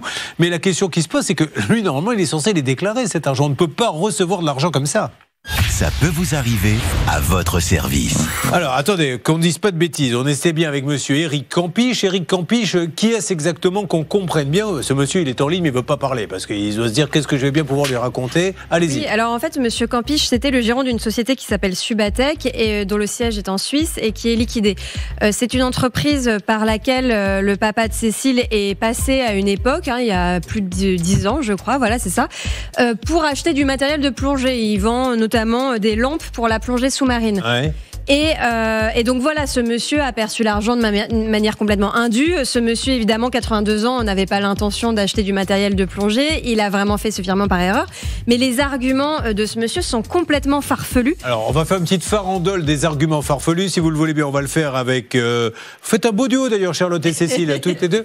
Qu'est-ce qui vous donne Parce que vous avez tout à l'heure donné quelques exemples. Il a l'air de dire n'importe quoi. Alors, quand la question est simple, Monsieur Campiche, vous avez touché 4000 euros.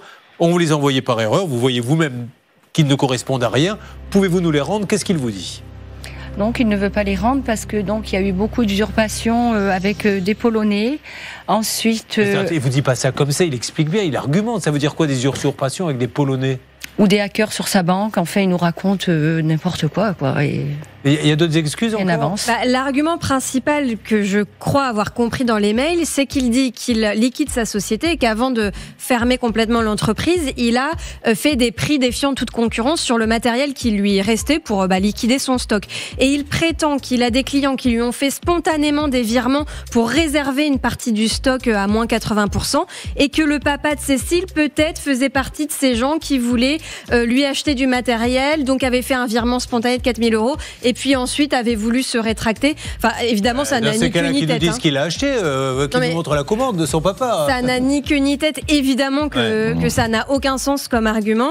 À un, mo- un autre moment, avec le conciliateur de justice, il a avancé euh, quelque chose de, de farfelu. Il dit J'ai une grande expérience, j'ai travaillé avec plus de 20 pays, j'ai vendu du matériel à l'État, à l'armée, à la marine, à Cousteau. Enfin bref, c'est complètement farfelu. Là, déjà, quand on commence à dire il y a des Polonais, des mafias polonaises et des hackers, juste une petite question blanche.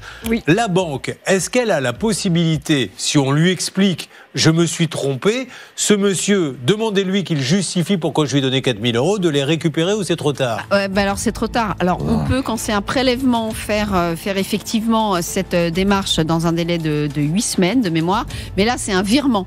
Donc effectivement, s'il avait immédiatement euh, demandé le recall du virement, ça aurait été possible. Mais là, c'est trop tard. Par contre, il faut le savoir, si quelqu'un, moi ça m'est déjà arrivé, vous fait un virement par erreur, vous avez le droit de le rejeter.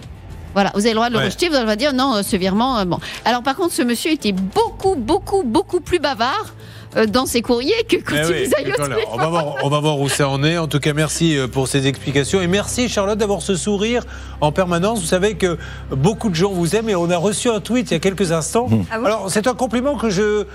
J'essaie de vous en faire beaucoup, mais j'ai jamais pensé à celui-là. Regardez ce qu'écrit ce monsieur. J'adore Charlotte Méritant. Elle a de belles dents. Ben, c'est vrai que, en général, on dit à une fille, tu as de beaux yeux. euh, tiens, mais rarement on vous a déjà dit un homme. Dis donc, qu'est-ce que tu as de belles dents, toi Non, ben oui, ben- c'est un super compliment, c'est important la dentition. mais, mais tout à fait, mais merci, vous voyez, c'est quand même le succès que vous avez dans Bah, cette écoutez, émission. Merci, gentil. Bon, maintenant qu'on a parlé des ratiches de Charlotte, on va essayer quand même euh, de pouvoir Ah vous avancer un petit peu, si vous le voulez bien. Euh, donc il faut récupérer ces 4000. Il y a aussi la banque de ce monsieur qu'on pourrait appeler en lui disant, voilà, il se trouve que c'est une erreur, pouvez-vous convaincre votre client? Et puis après, c'est William. hein. William, c'est une cata, il y a une, enfin, une cata, il y a une énorme flaque qui va devenir un petit étang si ça continue euh, dans le garage, et euh, il y a quelqu'un qui l'a planté, qui ne fait rien pour lui. On essaie de l'appeler. Tout ça, ça va se jouer dans les dernières minutes de l'émission, en espérant aussi avoir des nouvelles de la SNCF. On ne lâchera pas. Laura est désespérée, on la reprendra en ligne tout à l'heure, si vous le voulez bien. Julien sur RTL. Évidemment, nous avions tout à l'heure ce monsieur. Quoi Qu'est-ce que c'est que cette histoire? Ça a démarré comme ça, et puis quand je lui ai expliqué ce que c'était que cette histoire, il y a eu un long silence. Il a fini par accrocher, mais euh, nous lançons à Eric Campiche un appel solennel. Monsieur Campiche, il y a deux solutions. Vous êtes honnête, vous avez touché cet argent et il y a eu un contrat passé. Ben, vous nous envoyez le mail, le bon de commande pour du matériel de son papa qui euh, se serait lancé dans la plongée sous-marine à quel âge? 82 ans. Oh, On peut, hein, ceci étant dit. Ou alors, il y a vraiment une erreur, ce que l'on pense. Et dans ces cas-là, vous expliquez pourquoi vous ne rendez pas l'argent. Céline, donc, euh, ce monsieur a très vite raccroché après? Oui, oui, oui, j'ai essayé d'expliquer hors antenne le souci. Il a finalement raccroché. Depuis, il est injoignable. Donc, j'ai laissé un message, un texto. Pour l'instant, pas de réponse, mais ben, je ne vais pas le lâcher jusqu'à la fin de Alors, il l'émission. est en Suisse, hein, je crois, ce monsieur. Il est au Mont-sur-Lausanne. Monsieur Campiche, nom d'un petit chalet.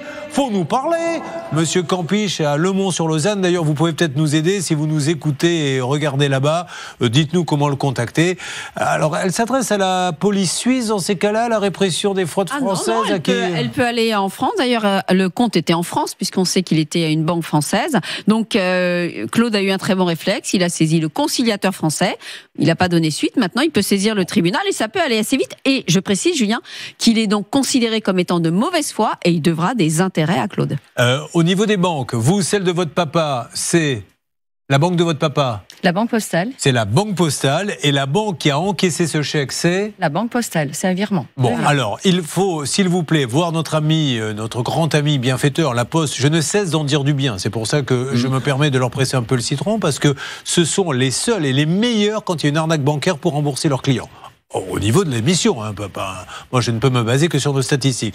Donc, si on pouvait appeler notre bienfaiteur là-bas et lui dire voilà, il y a eu une erreur, on le sait, ça a été enquêté. Euh, Est-ce que vous pouvez convoquer votre euh, client pour lui demander à quoi correspondent ces sommes, qui devraient être en plus? Parce qu'attention, vous savez que si un jour vous faites une cagnotte, tiens. Pour le bébé, je lance une cagnotte. Vous allez tous me donner 50 euros pour le bébé. Les 50 euros, vous me les donnez, je les mets sur mon compte. Donc 50, 100, 150, 200, 250. Eh bien, si je suis contrôlé, il va falloir que je justifie ces 250 euros. Et puis là, il faut pas se contenter de dire oui, c'est pour un anniversaire, il faut des preuves, sinon vous êtes imposé dessus. hein. Exactement, ça peut être considéré comme un revenu. Bon, avançons là-dessus avec notre ami Eric Campiche qui est peut-être en train de courir avec votre argent dans les, euh, les Edelweiss. Ah, c'est lui. Il est content. 4000 euros comme ça, ça rend Voilà. C'est bon, ça va. N'abusons pas des bonnes choses. Euh, nous avons William qui est là. William, monteur-poseur de fenêtres pour une grande marque? Non, pour une agence d'intérim. Très bien. Euh, en couple, deux enfants. Il est à Durmenac, Durmenac, comme on dit? Durmenac. Durmenac, dans le Haut-Rhin. On salue nos amis du Haut-Rhin, Céline. Oui, et attention, un homme vient d'être condamné à 30 mois de prison ferme parce qu'il a en fait tenté d'acheter un fonds de commerce auprès d'un restaurateur avec de faux billets. Donc là encore une escroquerie, on en a pas mal parlé ce matin. Cette fois, c'est l'escroquerie au wash wash, donc euh, du verbe anglais to wash qui veut dire euh, laver, nettoyer. Donc en fait, ce monsieur s'est présenté avec 18 000 euros de faux billets qui étaient complètement noircis. Il s'est présenté à la personne à qui voulait acheter le fonds de commerce, un restaurateur, et lui a dit pour rendre ces billets euh, de couleur normale que tu pourras encaisser ensuite, il faut que tu me donnes de vrais billets, des billets que tu as toi, Ouais. et je vais les nettoyer. Je vais, euh, voilà, par un procédé chimique, je vais faire euh, enlever le, côté noir de ce billet, et tu pourras ensuite les encaisser. Évidemment, ça ne fonctionne pas, et donc ce monsieur vient d'être condamné 30 mois de prison Un des plus grands arnaqueurs français de tous les temps, au nom bien connu, avait démarré comme ça en allant au restaurant. Il était parti à Los Angeles. Il avait réussi à s'introduire dans le milieu des gens riches. Il en invite un à déjeuner et à la fin du repas, il l'invite. Donc il invite à personne riche et il laisse, je ne veux pas vous dire de bêtises, 3000 dollars de pourboire. Alors tu lui dis, tu laisses 3000 dollars de pourboire Il lui dit oui. Parce que c'est des faux et personne ne va s'en apercevoir. Effectivement, le restaurateur prend l'argent et ne dit rien, il sort, il dit Mais c'est quand même dingue ton histoire. Mais tu en doutes Tiens, viens avec moi, on va aller à la banque.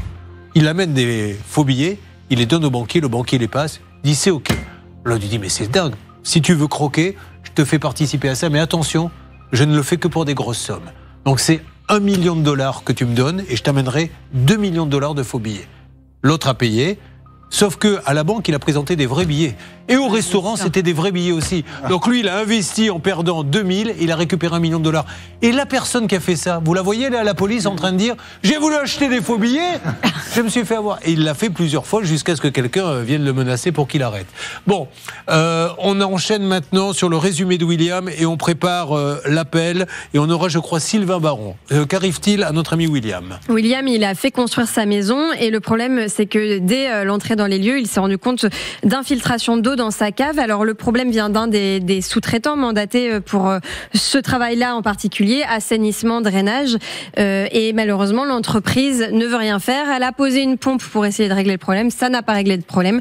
Depuis, plus de nouvelles. Hervé, vous êtes sur le coup, mais nous avons le temps que vous me faites une alerte. hein, dès que nous avons quelqu'un, je crois que nous avons stade notre Sylvain Baron qui est là.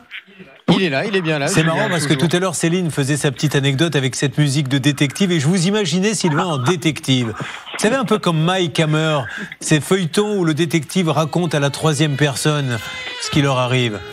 Ce jour-là, je dois dire que je me sentais pas très bien. J'avais pris une sacrée cuite avec d'autres experts de la région quand je me suis rendu dans le garage de William. J'ai été surpris par l'odeur et très vite, je me suis aperçu qu'il y avait quelque chose de louche. Alors, qu'est-ce qui se passe dans le garage de William?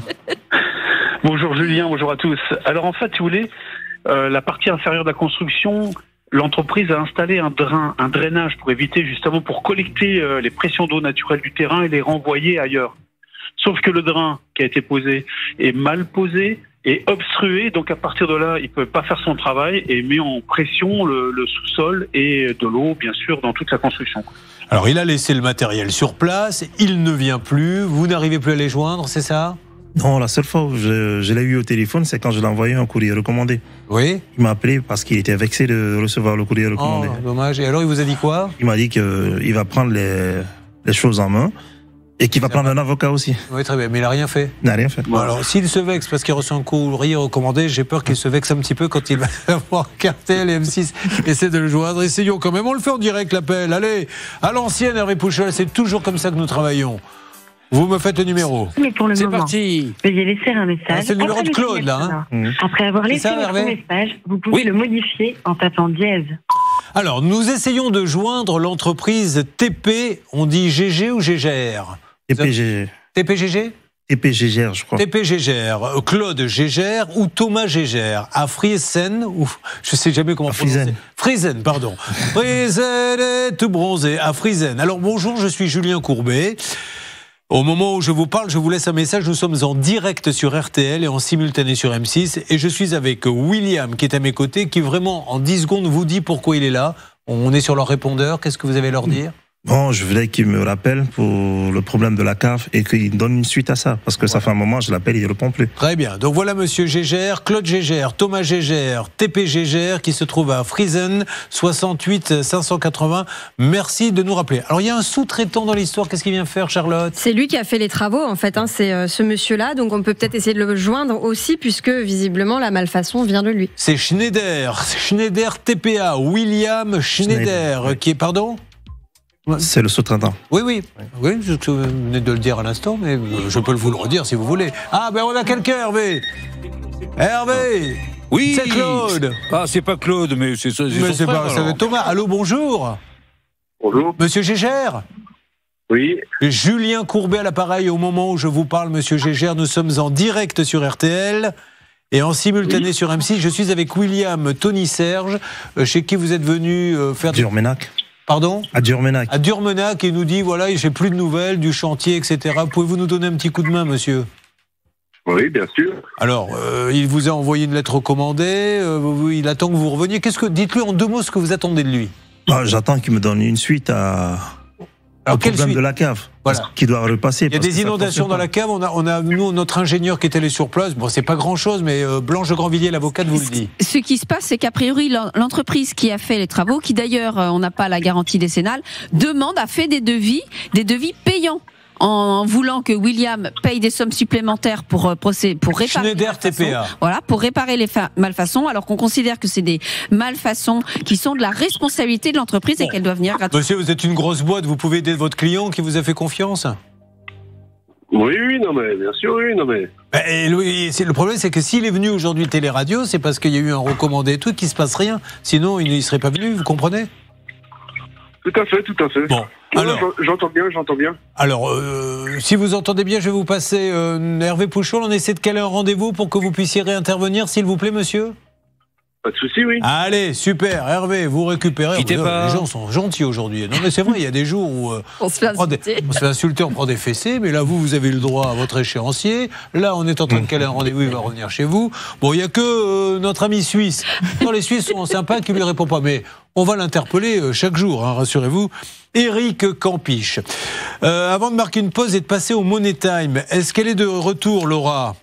Elle est là, mon Stan? Oui. Alors oui, on a Laura et puis on a Manon. Alors, aussi. Laura et Manon. Ah oui, non, pardon, alors c'est Manon qui galère. Les deux. Les deux. Alors les deux, Laura et Manon, sont là et je leur ai dit que maintenant ça serait un fil rouge jusqu'à Noël. Elles vont interpeller. Vous avez le nom du grand patron de la SNCF. Les pauvres ne prennent pas le train. Des gens prennent le train à leur place, donnent leur nom. Et elles se retrouvent avec des amendes et bientôt en interdit bancaire, elles vont tout perdre. Alors euh, celle qui veut démarre. Manon, réinterpeller le grand patron de la SNCF et dites-lui dans quel état vous êtes. Bah, bonjour Monsieur Farandou. Euh, J'aimerais juste avoir euh, gain de cause et obtenir un remboursement sur l'amende euh, qui nous a été donnée, étant donné que j'avais acheté deux billets et que j'avais pas du tout euh, l'intention de frauder, quoi. Voilà, ça c'est pour la première. Et la deuxième, c'est Laura, la pauvre, qui elle commence à paniquer. Allez-y Laura. Oui, bonjour. voyez euh, Vous m'entendez? Allez-y Laura, dites à monsieur le, dites, monsieur le patron de la SNCF, aidez-moi à pitié. Oui, monsieur la SNCF, bonjour. euh, s'il vous plaît, s'il vous plaît, je vous en supplie, et laissez-moi tranquille, arrêtez de m'envoyer des amendes, aidez-moi. Je ne veux plus, j'en peux plus, je panique tous les jours.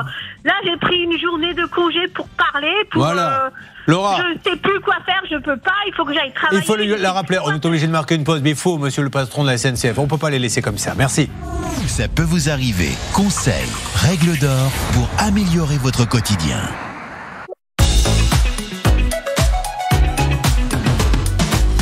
Allez, les dernières minutes sur M6. On va faire vite, Blanche Grandvilliers. Vous avez un train, c'est ça Partez On où peut rien vous cacher. Ben non, vous partez où À quand Oui, à quand Mais je vous ai pas demandé quand, je vous demande où. Très bien, parfait, encore une fois, beaucoup d'humour. Donc Léa, c'est réglé. Léa, elle va avoir un échéancier. Vous m'en dites plus euh, rapidement, s'il vous plaît, Bernard? Oui, le 5 décembre, premier versement 1639 euros et à partir du 5 janvier, chaque mois 1000 euros pour arriver au total de 7639 Vous euros. pouvez dire bravo Narbé si vous voulez parler branché jeune. Allez-y. Bravo Narbé. Voilà, Merci. bien joué Merci. Narbé. Florent, lui, c'est ticket resto. Alors lui, c'est la balade. Sodexo, Undered, Upcoup, Pimpli. Tout le monde a, va payer, Céline. Oui, tout à fait, grâce à Hervé Pouchon qui a passé plus d'appels que Bernard vrai. et moi. Je le souligne Bravo, quand même, je pourrais faire la tête. Ouais, merci. Hein. Alors, Mais c'est bon, et ça Hervé qui a cartonné avec William, puisqu'il va y avoir une reprise de ses travaux. Qu'est-ce qui a été décidé il y a quelques instants, s'il vous plaît? Rendez-vous demain, 14h pétante. Bon, alors maintenant pour Cécile, alors ça, encore une fois, là c'est déjà très rare qu'on règle trois cas le même jour. Euh, on- elle va revenir dans l'émission et on, on dit à Monsieur Eric Campiche, euh, qui est en Suisse, je ne sais plus où il est très exactement, Monsieur Campiche, il est pas bête, il y a deux solutions. Son père a commandé du matos, dans ces cas-là, ben, vous nous sortez le bon de commande et à la rigueur vous sortez le matos. Son père vous a envoyé 4000 euros par erreur, ce qui semble être le cas, puisqu'à 82 ans il n'avait pas tout à fait envie de se relancer dans la plongée sous-marine, et vous lui rendez, mais vous sortez pas des histoires de qu'est-ce qu'il vous a dit que c'était les Polonais, les On est hackers des hackers. euh, enfin, voilà, donc nous on va appeler les banques, etc. N'en faisons pas un pataquès, cet argent, vous n'auriez pas dû le toucher, vous lui rendez et puis c'est tout. Euh, nous allons faire un petit coucou, c'est la période de Noël. Alors euh, les animaux, ben, c'est magnifique. Il y a Suzy Handicap, grâce à vous, qui a touché euh, 40 000 euros. Et voici la petite vidéo bonheur du jour, celle qui vous met à l'aise. Voilà. Ces 40 000 euros, voilà à quoi ils servent. Ces chiens-là ont tellement été battus que malheureusement ils sont handicapés. Il faut les, ils n'arrivent même plus à marcher. Eh bien, plutôt que de les piquer, elle les récupère. Et voilà, ils ont un enclos, mais regardez ça, et c'est le bonheur. Ces chiens-là étaient mutilés, et c'est sa vie à cette dame, son association, de faire ça. Alors moi, chaque jour, je passe une petite vidéo parce que moi, ça me met le cœur en joie, ça me donne la pêche, et c'est juste extraordinaire. Voilà, le pauvre, il a plus de pattes arrière, mais il est heureux, il a des copains, il se balade toute la journée dans de bonnes conditions. Bravo à elle, et puis n'hésitez pas à la soutenir. Euh, Suzy Handicap. Euh, voilà, qu'est-ce qu'on peut dire d'autre, Stan? Malheureusement, une actualité, euh, qui- eh oui, c'est appel à témoins. Donc c'est le 11 décembre, euh, lundi, en direct, où nous allons avoir besoin de vous. Alors je vous ai parlé de plusieurs cas. Je voudrais qu'on voit celui d'Olivier Cocampon. Euh, Olivier Cocampo, 46 ans au moment des faits, disparition inquiétante. Le 17 avril 2016, aucune nouvelle. Est-ce une disparition volontaire ou un acte criminel? Du côté de Angres, Pas-de-Calais La famille a vraiment besoin d'aide. Ils n'ont plus aucune nouvelle. Et vous savez peut-être quelque chose. Vous savez qu'il y a des cas qui ont été résolus grâce à vos appels à partir de lundi. Je vous donnerai le numéro de téléphone. Julien Morlot, si on peut me montrer rapidement également sa fiche, percuté sur un bateau en nageant sur le lac du Bourget. Il ne pouvait pas y avoir qu'un bateau. Il y en avait plusieurs. Il y a forcément quelqu'un qui a vu quelque chose. Et tout le monde se tait et, les parents n'arrivent pas à se reconstruire. 31 ans. C'était le 9 septembre 2019, lac du Bourget en Savoie. Le pilote du bateau est toujours en fuite. Et puis Louis Grette, 14 ans. Un meurtre qui aurait pu être maquillé en suicide. Pourquoi? Parce qu'il y a une mystérieuse camionnette dans cette histoire, parce qu'il y a un ADN inconnu sur la corde, pas si inconnu que ça d'ailleurs, vous le verrez, et des traces suspectes sur le corps. Appel à témoins, témoins au pluriel, arobase m6.fr si vous savez quelque chose. Voilà, merci à vous tous, bon retour. Je vais passer parmi vous avec un tronc, si vous pouvez laisser pour les étrennes de Noël un petit quelque chose pour l'équipe. Et puis on se retrouve très vite. Merci Blanche Grandvilliers. Ben, allez-y, partez, allez prendre votre train. ouais. Allez hop, je me Il y en a à Caen à qui on souhaite une bonne après-midi. Il sait de qui il s'agit. Bravo, mec. Elle est déjà partie, dis donc. Bonne chance, Blanche. Game over.